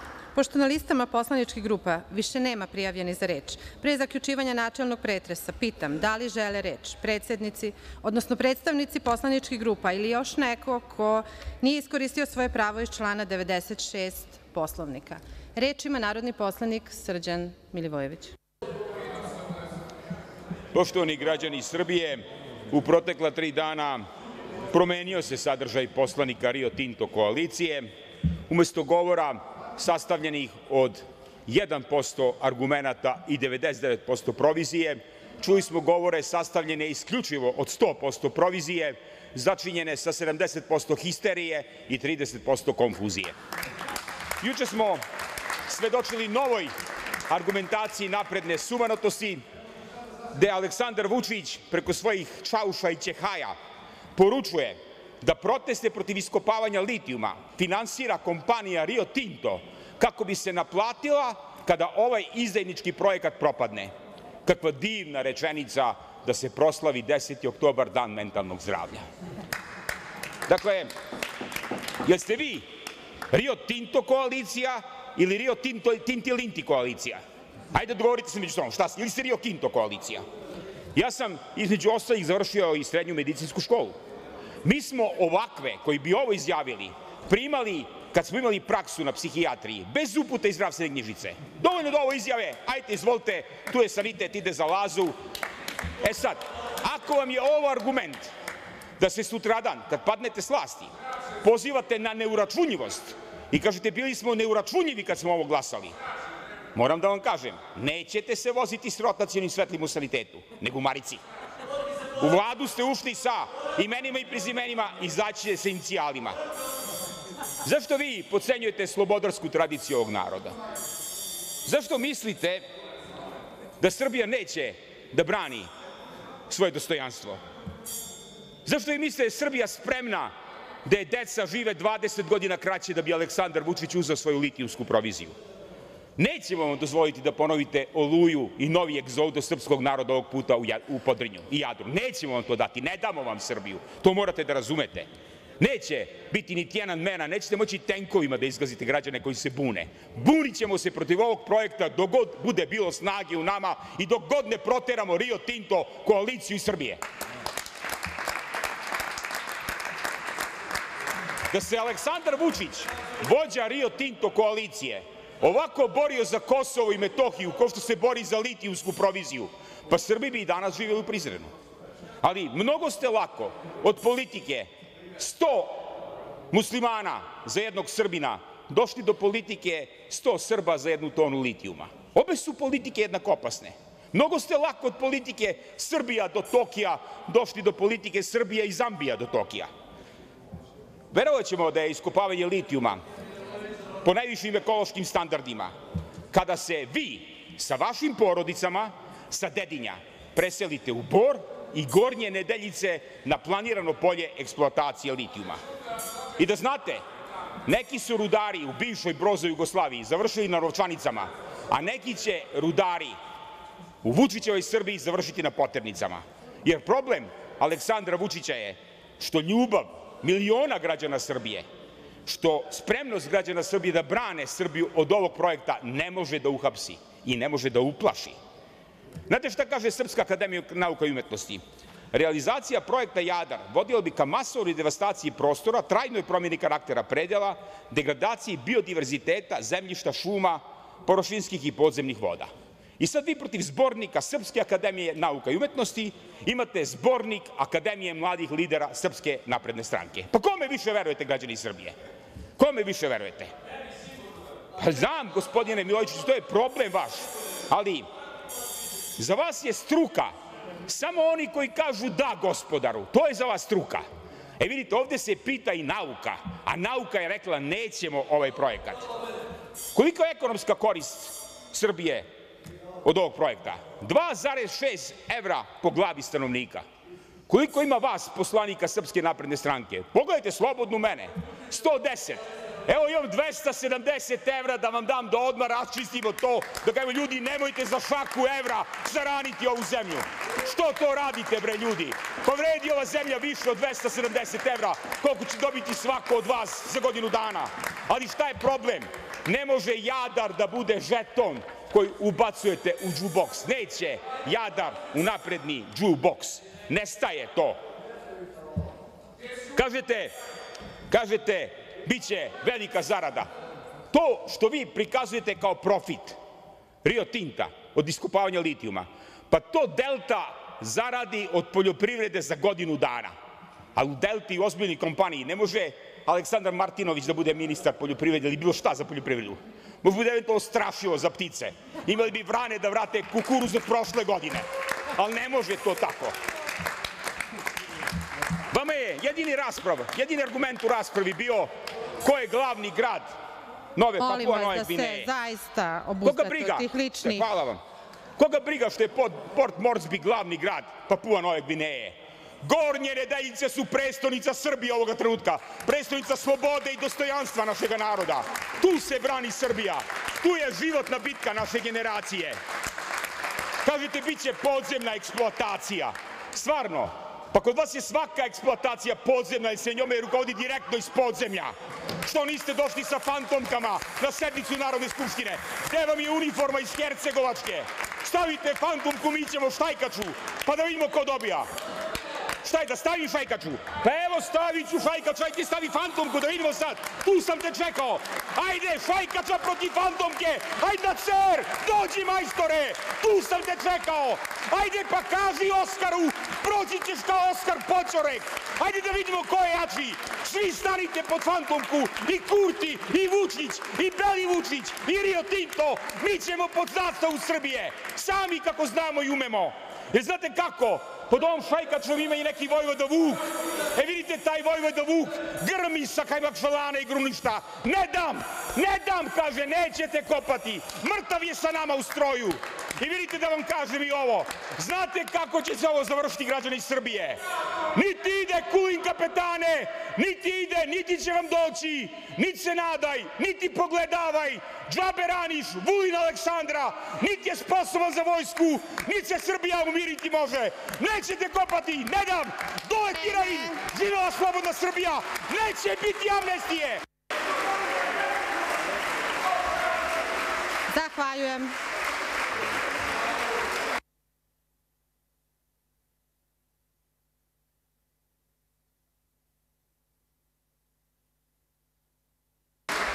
Vreme ovlašćenog predstavnika potrošeno. Naravno da ste izazvali repliku. Narodni poslanik Milenko Jovanov.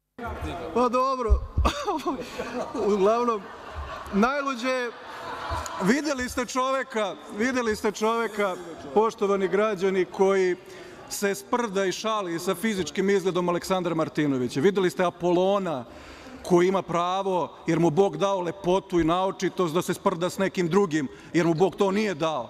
Ali dobro, svašta ste imali prilike da vidite, da, ali ono što ste čuli je još zanimljivije. Ono što niste čuli, to je da je Apolon glasao za Rio Tinto. Apolon sa svetom šajkačom na glavi pritisnuo dugme i glasao da Rio Tinto jedini može da kopa u ovoj zemlji. Apolon vam to nije rekao. I Apolon vam nije rekao samo da li je to uradio besplatno ili je to uradio za pare. Ja ne verujem da je on to uradio za pare, jer on je tako bio nebitan. Veliki su igrači tada uzimali pare, oni koji su pravili mega ministarstvo, Rio Tinto ministarstvo u njegovo vreme i za to je glasao Apolon. Apolon glasao i za studiju koja je Rio Tinto omogućila da radi šta hoće u ovoj zemlji. Apolon je svašta uradio za Rio Tinto. A kad vidite da ovako viče, da se zajapuri, a vi se setite i nađete na internetu, to imate na YouTubeu, kako se isto tako ponašao prošle godine, isto vam tako obećavao, ne da, on će da reši, on će da spreči, on će da zaustavi saobraćaj na Gazeli. Ostajemo na Gazeli dok se ne zaustavi sve. Ostajemo na Gazeli dok Aleksandar Vučić ne podnese ostavku, a onda ujutru prvi pobegao sa Gazele. Pravac Nova S, evo mene, dragi gledaoci, dobro jutro, a oni jednici u šatorima na Gazeli koji su mu poverovali i se posmrzavali. E tako Apolon funkcioniše. Na kraju krajeva, Apollo nije za zabranu iskopavanja litijuma i ta šajkača se obrukala stavljanjem na ovakvu glavu. Zašto? Pa zato što lepo kaže – nema trajne zabrane, ovo je zabrana dok se zakon ne promeni. Dakle, kada Apolon bude ponovo u prilici da pritisne taster, on će ponovo da glasa za Rio Tinto samo da promeni ovaj zakon. Ovo je privremeno jer misle da na tome mogu da dođu na vlast. E pa ako vam je do Apolona i do ove lepe Srbije imate za koga da glasate, građani, ja vas pozivam da ga podržite. Vreme. Zahvaljujem.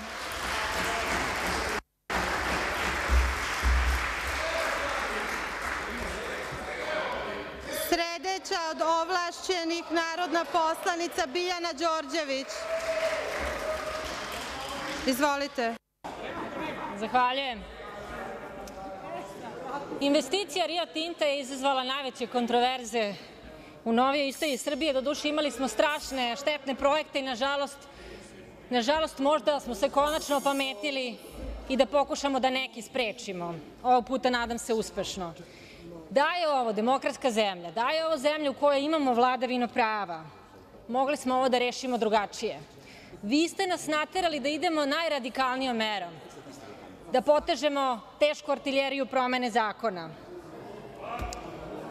Pošto nemamo demokratiju, dakle moramo da koristimo takve instrumente da bi zaustavili štetnu politiku u pogledu rasprodaje mineralnih resursa, uništavanja životne sredine, ugrožavanja zdravlja stanovništva, promene načina života na koje terate ljude koji to neće, a niste ih ni pitali. Dakle, važno je da se ovakvi projekti obustave.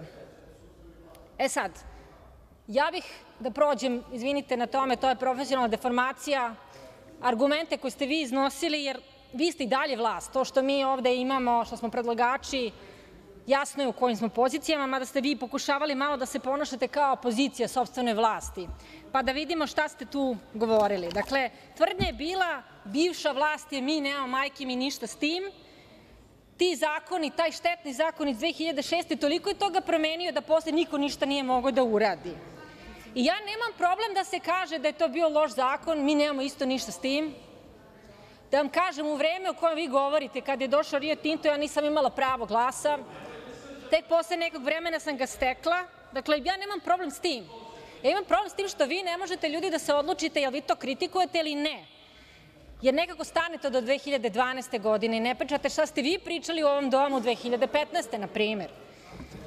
Dakle, što niste, na primer, rekli, ok, možda ne možemo promenom zakona da zaustavimo taj štetni projekat, tu strašno lošu kompaniju Rio Tinto, ali možemo neke buduće. Ali ne. Ono što ste vi govorili u ovom domu, zapravo meni govore da nema razlike između bivše vlasti koje vi kritikujete, koja je međuvremeno prešla u vaše redove, i sadašnje vlasti. I jedini način na koji zapravo treba da objasnite građanima Srbije da ste vi nešto bolji je da stalno imate tog žrtvenog jarca, tu bivšu vlast. A zapravo, evo, ja, ja ću ja pročitati šta je govorio 2015. kada ste menjali zakon o rudarstvu i energetici. Tadašnji ministar rudarstva energetike Aleksandar Antić kaže tada se prvi put uvode litijum i bor kao strateški sirovine. Dakle, kaže, citiram, ako tome dodamo potencijale koje imamo vezano za olovo i cink, ako tome dodamo neke u ovoj fazi još uvek pretpostavljene potencijale koje imamo kada su u pitanju toliko popularni škriljci, to sve nameće potrebu da kao država imamo jedan modern, aktivan zakon o rudarstvu i geološkim istraživanjima, zakon koji će pokušati da bez previše administriranja, ali sa jednim potpuno odgovornim pristupom prema tim vrednim sirovinama koje imamo, sve to stavi u funkciju privuče investitore. Za tako velike investicije, za tako hrabrost da neko uđe u istraživanja, neophodno je da naš zakonski okvir bude takav da tim ljudima i tim kompanijama daje vrstu garancije da će taj novac koji ulažu, da će ta prava na tu eksploataciju zaista i ostvariti. Pa jedan sadašnji ministar, Đorđe Milićević kaže, važno je slažemo se u potpunosti sa vama, gospodine ministre, pružiti sigurnost kompanijama koje ulažu u Srbiju. Važno je stvoriti, važno je da je stvorena atmosfera da onaj koji ulaže novac shvati da ima svu neophodnu podršku države, vlade, resornog ministarstva da dođe do onog krajnjeg cilja, do finalizacije, a to je otvaranje rudnika. Nemamo i majke mi ništa s tim, to je sve bivša vlast. Sad pitanje odštete. Dakle, Ana Brnabić je dosta govorila o tome kako mi se otvaramo ovde za oštete i jedini način da to sprečimo tvrdnja je ova, studija o procenu uticaja na životnu sredinu, o tome nešto kasnije. Dakle, ja sam jutros postavila pitanje, vi niste bili tu, ali poslaće vam ovaj, služba. Dakle, kako ste onda mogli, kad ste nas toliko upozoravali na taj problem odštete, da potpišete loše napisanu uredbu kojom stavljate van snage projekat na način na koji zapravo dajete pravni argument kompaniji da traži odštetu. Dakle, vi ste nas ovde izložili opasnosti od odštete od kompanije, a nismo mi. Dakle, prvo nam vi to odgovorite. Jedino utešno za građane i građanke Srbije koji su spremni da plate odštetu, jer je važnije, važnije zaštititi našu zemlju, jedino utešno je što je, ako ste bili toliko korumpirani da to uradite namerno, to je onda dobar razlog i dobar osnov i dobar argument da mi na nekoj budućoj arbitraži zapravo taj spor dobijemo protiv kompanije. Ima takvih odluka arbitražnih tribunala i pravo da vam kažem gotovo da bih više volela da ste korumpirani nego da ste nestručni, to bi bilo dobro za građane Srbije.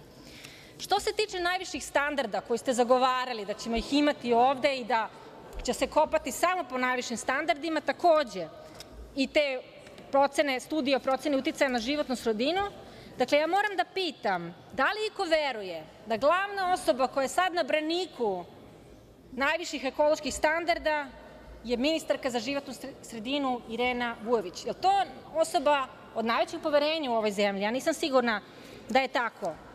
Da je kompanija zaista želela da postupak sprovede po najvišim standardima zaštite životne sredine, sačekala bi usvajanje novog zakona o proceni uticaja na životnu sredinu koji zabranjuje taj salami slicing, to cepanje, veštačko cepanje projekata na više delova, da se zapravo ne bi obavila studija o celokupnom uticaju projekta na životnu sredinu, ali kako da vam kažem, ja i nemam razloga da verujem kompaniji, niti mislim da treba da se oslanjamo na kompaniju, ja mislim, a i građani Srbije misle da treba da se oslanjamo na državu, ali nažalost vi niste u stanju ili niste namerno hteli da usvojite strože zakone, te najviše ekološke standarde, devet godina i tako mi sad ne možemo da se uzdamo ni u zemlju koju ste zaposeli. I na samom kraju nešto o zelenoj agendi. Dakle, vi ste ovde zelenu agendu sveli na baterije za električne automobile. Dakle, to, kako da vam kažem, vrlo mali, mali, malecni delić zelene agende nije najvažniji, a svakako te električne automobile neće voziti građani Srbije. Proces prelaska sa fosilnih goreva na obnovljive izvore energije radi smanjenja štetnih emisija Vreme treba da bude jasan i grupe. za sve, a ne da to bude Samo za korporacije misao. da zarađuju, za Nemce da voze električne automobile, a da građani uvoze vozila koja su zabranjena u uniji. Zahvaljujem. Zahvaljujem. Reč ima predsednica Skupštine, eh, Ana Brnabić. Hvala vam. Mogli smo, poštovani građani Republike Srbije, sada da čujemo od nekog ko predaje na Fakultetu političkih nauka Univerziteta u Beogradu da je bolje da sam korumpirana nego da sam nestručna. Ja se nadam da vi zaista ne predajete tim studentima da je bolje da je neko stručan i korumpiran nego da je samo budala i nestručan. Zato što ja mislim da je uvek bolje da je neko nestručan nego stručan i korumpiran.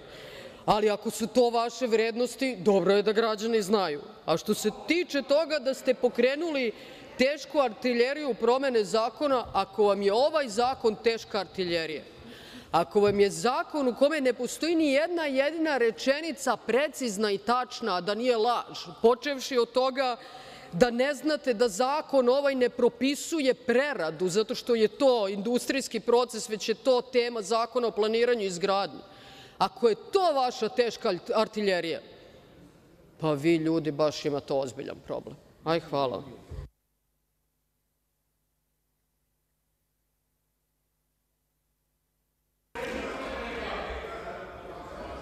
Na osnovu čega? Ne. Odgovorila je, reagovala, prozvana. Čist odgovor, nema uopšte potrebe. Da li još neko od ovlašćenih predstavnika poslaničkih grupa? Poštujem ga. Kao i uvek. Ukoliko nema više ovlašćenih predstavnika predsednika poslaničkih grupa, ministarka e, želi... Samo vas, samo se pri... Izvolite. Hvala puno. Pa pre nego što se osvrnem na ova tri i po dana diskusije, želela bih samo da prokomentarišem još jednom, a zarad građana Srbije, kada je u pitanju Srpska akademija nauka i umetnosti, koju smo još jednom čuli da se izjasnila. Znači, nikakva institucija Srpske akademije nauka i umetnosti se nije izjasnila. Pojedinci su rekli svoja mišljenja bez da imaju uvid u bilo kakve studije o uticaju na životnu sredinu. Znači, to su rekli analizirajući neke druge projekte, ko zna gde, ko zna u kojoj zemlji i ko zna zasnovane na kakvim tehnologijama, pa su se posle zbog toga i izvinjavali. Znači, ne postoji dokument SANU, postoji mišljenje dato u zaključku organizacionog odbora skupa, ali to nije stav Akademije nauka i umetnosti. Organizacioni odbor su činili Ristić, Đorđević i još par pojedinaca. Ristić i Đorđević su citirani u predlogu ovoga zakona i znamo koliko je grešaka i neistina izneto u njima. Ali ono što je i dalje frapantno, to je da non stop se zaboravlja šta je izglasano u ovoj Narodnoj skupštini i upravo oni koji su glasali za te promene. A to je pored dozvola za prošireno istraživanje, proširene tačke, prošireni obim istraživanja, nove bušotine koje su izdavane od 2004. do 2012. izvršena je i rekonstrukcija Vlade gde je izuzeto Ministarstvo rudarstva i pridodato upravo ministru Oliveru Duliću, a znamo iz koje je stranke on, a šta sada njegove kolege ovde pričaju. Ali ono što je opet veoma važno da naglasim, da to nije samo zakon iz 2006. koji je značajno negativno uticao na situaciju koju danas imamo, da je to zakon iz 2011. koji je potvrdio da nosilac eksploatacije može biti privredno društvo, odnosno drugo pravno lice koje je nosilac istraživanja. Ali šta je tadašnji ministar iz te stranke rekao, citiram, 2011. Društveni i ekonomski razvoj naše zemlje je prioritet i procena je da će prihod, odnosno učešće rudarstva u bruto nacionalnom dohotku Srbije, zahvaljujući ovome što danas radimo, znači potvrđujemo da nosilac istraživanja jedini može biti nosilac eksploatacije, će se povećati sa sadašnjih 2% na 5% do 2020. Što će reći razvijamo rudarstvo. Takođe, nastavljam citat, možemo da kažemo da ćemo upravo zahvaljujući ovom zakonu i podzakonskim aktima i strategijama, a znamo za strategiju koja je doneta 2012. otvoriti potencijal, slušajte dobro, da imamo nova ohrabrujuća nalazišta kada je u pitanju litijum, da imamo nova nalazišta takođe nekih retkih minerala, a neki čak kažu nalazišta koja su najveća nalazišta na severnoj hemisferi. To sve nama daje razlog i veru da imamo veoma optimistične najave kada je u pitanju ova oblast. E pa, dragi građani Srbije, procenite da li oni koji vam se obraćaju danas iz tih stranaka tako žučno i tako srčano mogu da zaista vas pogledaju u oči i da kažu da nisu glasali za te zakone i da nisu podržavali ove ministre. Ali, ja bih da sumiram šta smo pričali ova tri dana i želim pre svega da se obratim građanima Srbije, poštovani i uvaženi građani, ali i poštovani narodni poslanici. Izmena zakona koja je predložena, osim što nije u skladu sa Ustavom Republike Srbije i sa načelima Zakona o rudarstvu i geološkim istraživanjima, nije u skladu ni sa strateškim, ni sa ekonomskim interesima Republike Srbije. Stoga je predlog Vlade Republike Srbije Narodnoj skupštini da ne prihvati Predlog zakona o izmenama i dopunama Zakona o rudarstvu i geološkim istraživanjima. Nije u interesu naše zemlje da zabranimo istraživanje kritične mineralne sirovine koja je i na nivou Evropske unije definisana kao takva, dok se svet i Evropa ubrzavaju svoje procedure i dozvole koje se odnose na istraživanje i eksploataciju kritičnih sirovina, mi za to vreme treba ta istraživanja i eksploataciju da zabranjujemo. Mislim da to ne bi bilo normalno. Govorite da je eksploatacija litijuma iz neke druge geološke formacije prihvatljiva, a izmenama ovog zakona predlažete da se ukine mogućnost i da saznamo čime uopšte mi to raspolažemo. Podsećam da su rudna bogatstva u vlasništvu Republike Srbije. Zbog čega bi se mi odricali od tih saznanja i istraživanja? Naša obaveza prema narodu i prema pokoljenjima je da im ostavimo osnovu na kojoj će graditi svoju budućnost.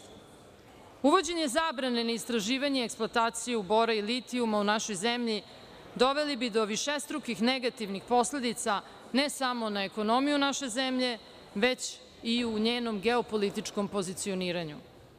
Želim sada da iznesem važne činjenice u vezi diskusija koje smo imali, a koje su neupitne. Pod broj 1. Bili bismo prva zemlja koja zabranjuje istraživanje bora u litijuma u svetu i u Evropi.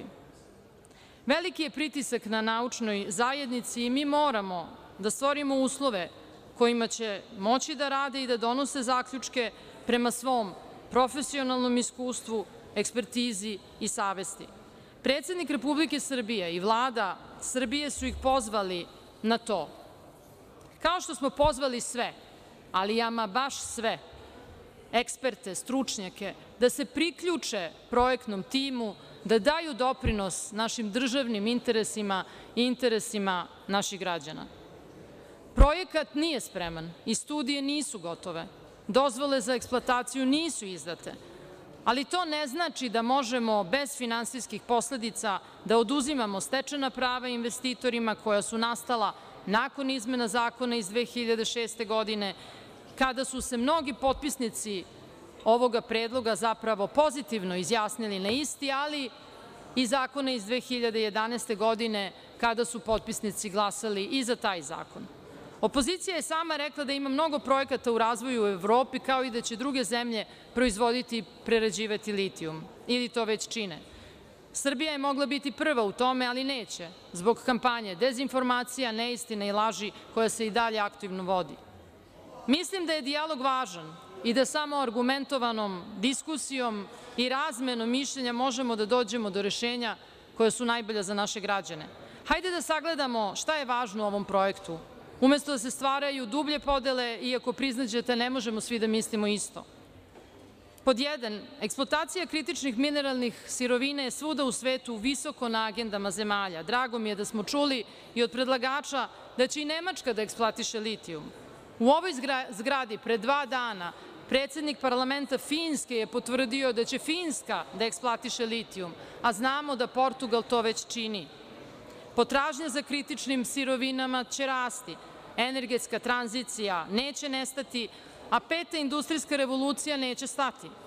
Mi imamo ležište overenih rezervi litijuma koje su 12. po veličini u Evropi i među najvećim 12. u svetu i među najvećim u Evropi i to su potvrđene overene rezerve. Na 12. mestu u svetu i među najvećima u Evropi. To su sve činjenice i one su nepobitne. Na sve ovo treba da gledamo kao na ogromnu razvojnu šansu. Kako?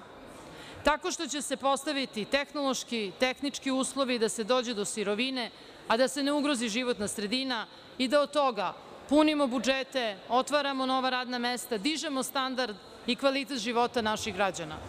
Ekonomske procene kažu da zaokruženi lanac vrednosti od proizvodnje sirovine do katoda, do baterija, do električnih automobila može da dostigne i 12 milijardi evra, odnosno više od 15 i 16 procenata naših, našeg bruto domaćeg proizvoda. Da li je to moguće? Da jeste, jer postoje tehnološka rešenja. Ko će da proveri da li će ta tehnološka rešenja da budu, budu pogodna za projekat Jadar, s obzirom da je jadarit mineral jedinstven? Pa struka, ne političari i ne oni koji su najglasniji protiv projekta, jer oni ne pričaju u ime struke, nego u ime političke agende i rušenja vlasti. A koja struka? Oni koji se plaše, oni koji se ne plaše da posle hajke koja se vodi protiv svih nešto pozitivno kažu o projektu, odgovorno i javno stanu iza svojih stavova. Pred njima je težak i odgovoran zadatak. Ovo je multidisciplinarni projekat i samo eksperti sa relevantnim iskustvom mogu da se nose sa tom odgovornošću, a to su pre svega rudarski eksperti i eksperti geologije. Mi takve eksperte u ovoj zemlji imamo. Naš posao je da im taj zadatak olakšamo, da im damo punu podršku i da se prekine, da se uništava čitava jedna struka koja ima vekovnu i više vekovnu tradiciju u našoj zemlji, a to su rudarstvo i geologija, bez koje ne bi mogli da gradimo ni kuće, ni bolnice, ni vrtiće, ni škole, niti da imamo pijaću vodu. Fokus ove diskusije smo stavili na pitanja o sumpornoj kiselini, na pitanja o vodama, na upravljanju otpadom. O tome trebaju da pričaju stručnjaci koji su se godinama školovali za ta zvanja. Zato sam bar ja u svom značajnom delu rasprave citirala upravo stručnjake, ne političare, jer je na njima da daju mišljenje. Posao Vlade Republike Srbije je da stvorimo uslove da struka radi svoj posao savezno i savesno i profesionalno. Ponoviću i da je u samom predlogu izmena ovog zakona navedeno nekoliko netačnih informacija koje su javno dostupne i koje svako može da pročita.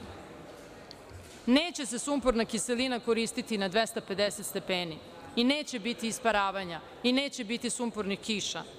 Proces bi se odvijao u zatvorenim rezervoarima na niskoj temperaturi od 90 stepeni, daleko ispod tačke ključanja sumporne kiseline, tako da apsolutno ne bi bilo isparavanja o kojima se govori. Neće biti potrošeno 500.000 litara vode za ekstrakciju jedne tone litijuma. Bilo bi potrebno 6.600 litara vode, znači 75 puta manje od navedene količine u predlogu izmena zakona. Toliko o relevantnosti podataka koji su navedeni. Projekat Jadar neće uticati na vodosnabdevanje lokalnog stanovništva, jer se većina naselja vodom snabdeva iz gradske vodovodne mreže, koja ne bi bila ugrožena. I to potvrđuju modeli koji su rađeni na desetinama hiljada godina proračuna. Znači, da li postoji mogućnost da se nešto desi nepredviđeno što se dešava jednom u 10.000 godina. To su modeli koji se rade za nuklearne elektrane jedino i ni za šta više. I oni to potvrđuju. Otpad će biti u čvrstom, a ne u tečnom obliku, znači nema flotacijskog jalovišta. Otpad u čvrstom stanju ima daleko manje uticaj na okolinu. Pošto je rudnik podzemni, poljoprivrednici će moći da nastave da se bave i da uzgajaju i kulture i kukuruz i da proizvode mleko i da proizvode med. Da li je Rio Tinto imao probleme u poslovanju od 1873. od kada je osnovan? Pa predsednik Republike Srbije je to pitao izvršnog direktora Rio Tinta u direktnom prenosu ispred građana Srbije. Međutim, mnogo neistine je izrečeno o poslovanju ove kompanije. Podsetiću da je 2012. godine Rio Tinto imenom i prezimenom naveden u Nacionalnoj strategiji održivog korišćenja prirodnih resursa i dobara koju je Vlada usvojila kao, citiram, svetska priznata rudarska kompanija. Pa kako su to postali, kako su se to promenili toliko za 13-14 godina da ste zaboravili koliko su tada bili priznati i poznati, a koliko su sada nakaradni. U Srbiji posluju 20 godina, došli su na poziv tadašnje Vlade Srbije. Isto tako podsjećam, Srbija je na putu članstva u Evropsku uniju i svoje zakonodavstvo i standarde usaglašava sa najrazvijenijim zemljama Evrope. Rio Tinto, ukoliko želi da nastavi da razvije ovaj projekat, moraće da poštuje te standarde ili projekta neće biti. Takođe želim da ponovim i to da se predlagači slažu sa mnom, da građani zapadne Srbije, Loznice i Gornjih Nedeljica se neće raseljavati. Niko neće biti proteran sa svoje zemlje. Oblast koju treba da obuhvati rudnik ili jedan deo, već je gotovo cela raseljena dobrovoljno.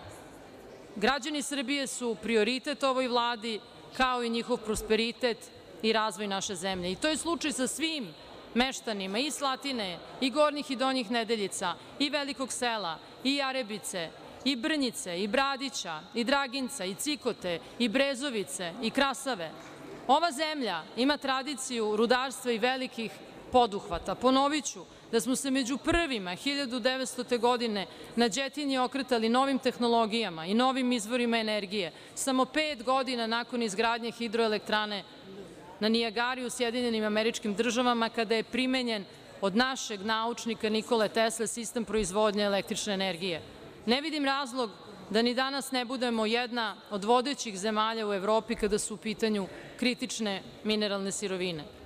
Sve nosi rizike i otvaranje kopova u Kolubari i Kostolcu, izgradnja Đerdapa i Bajne bašte. Te rizike smo prevazilazili, gradili hidroelektrane, gradili termoelektrane, otvarali rudnike.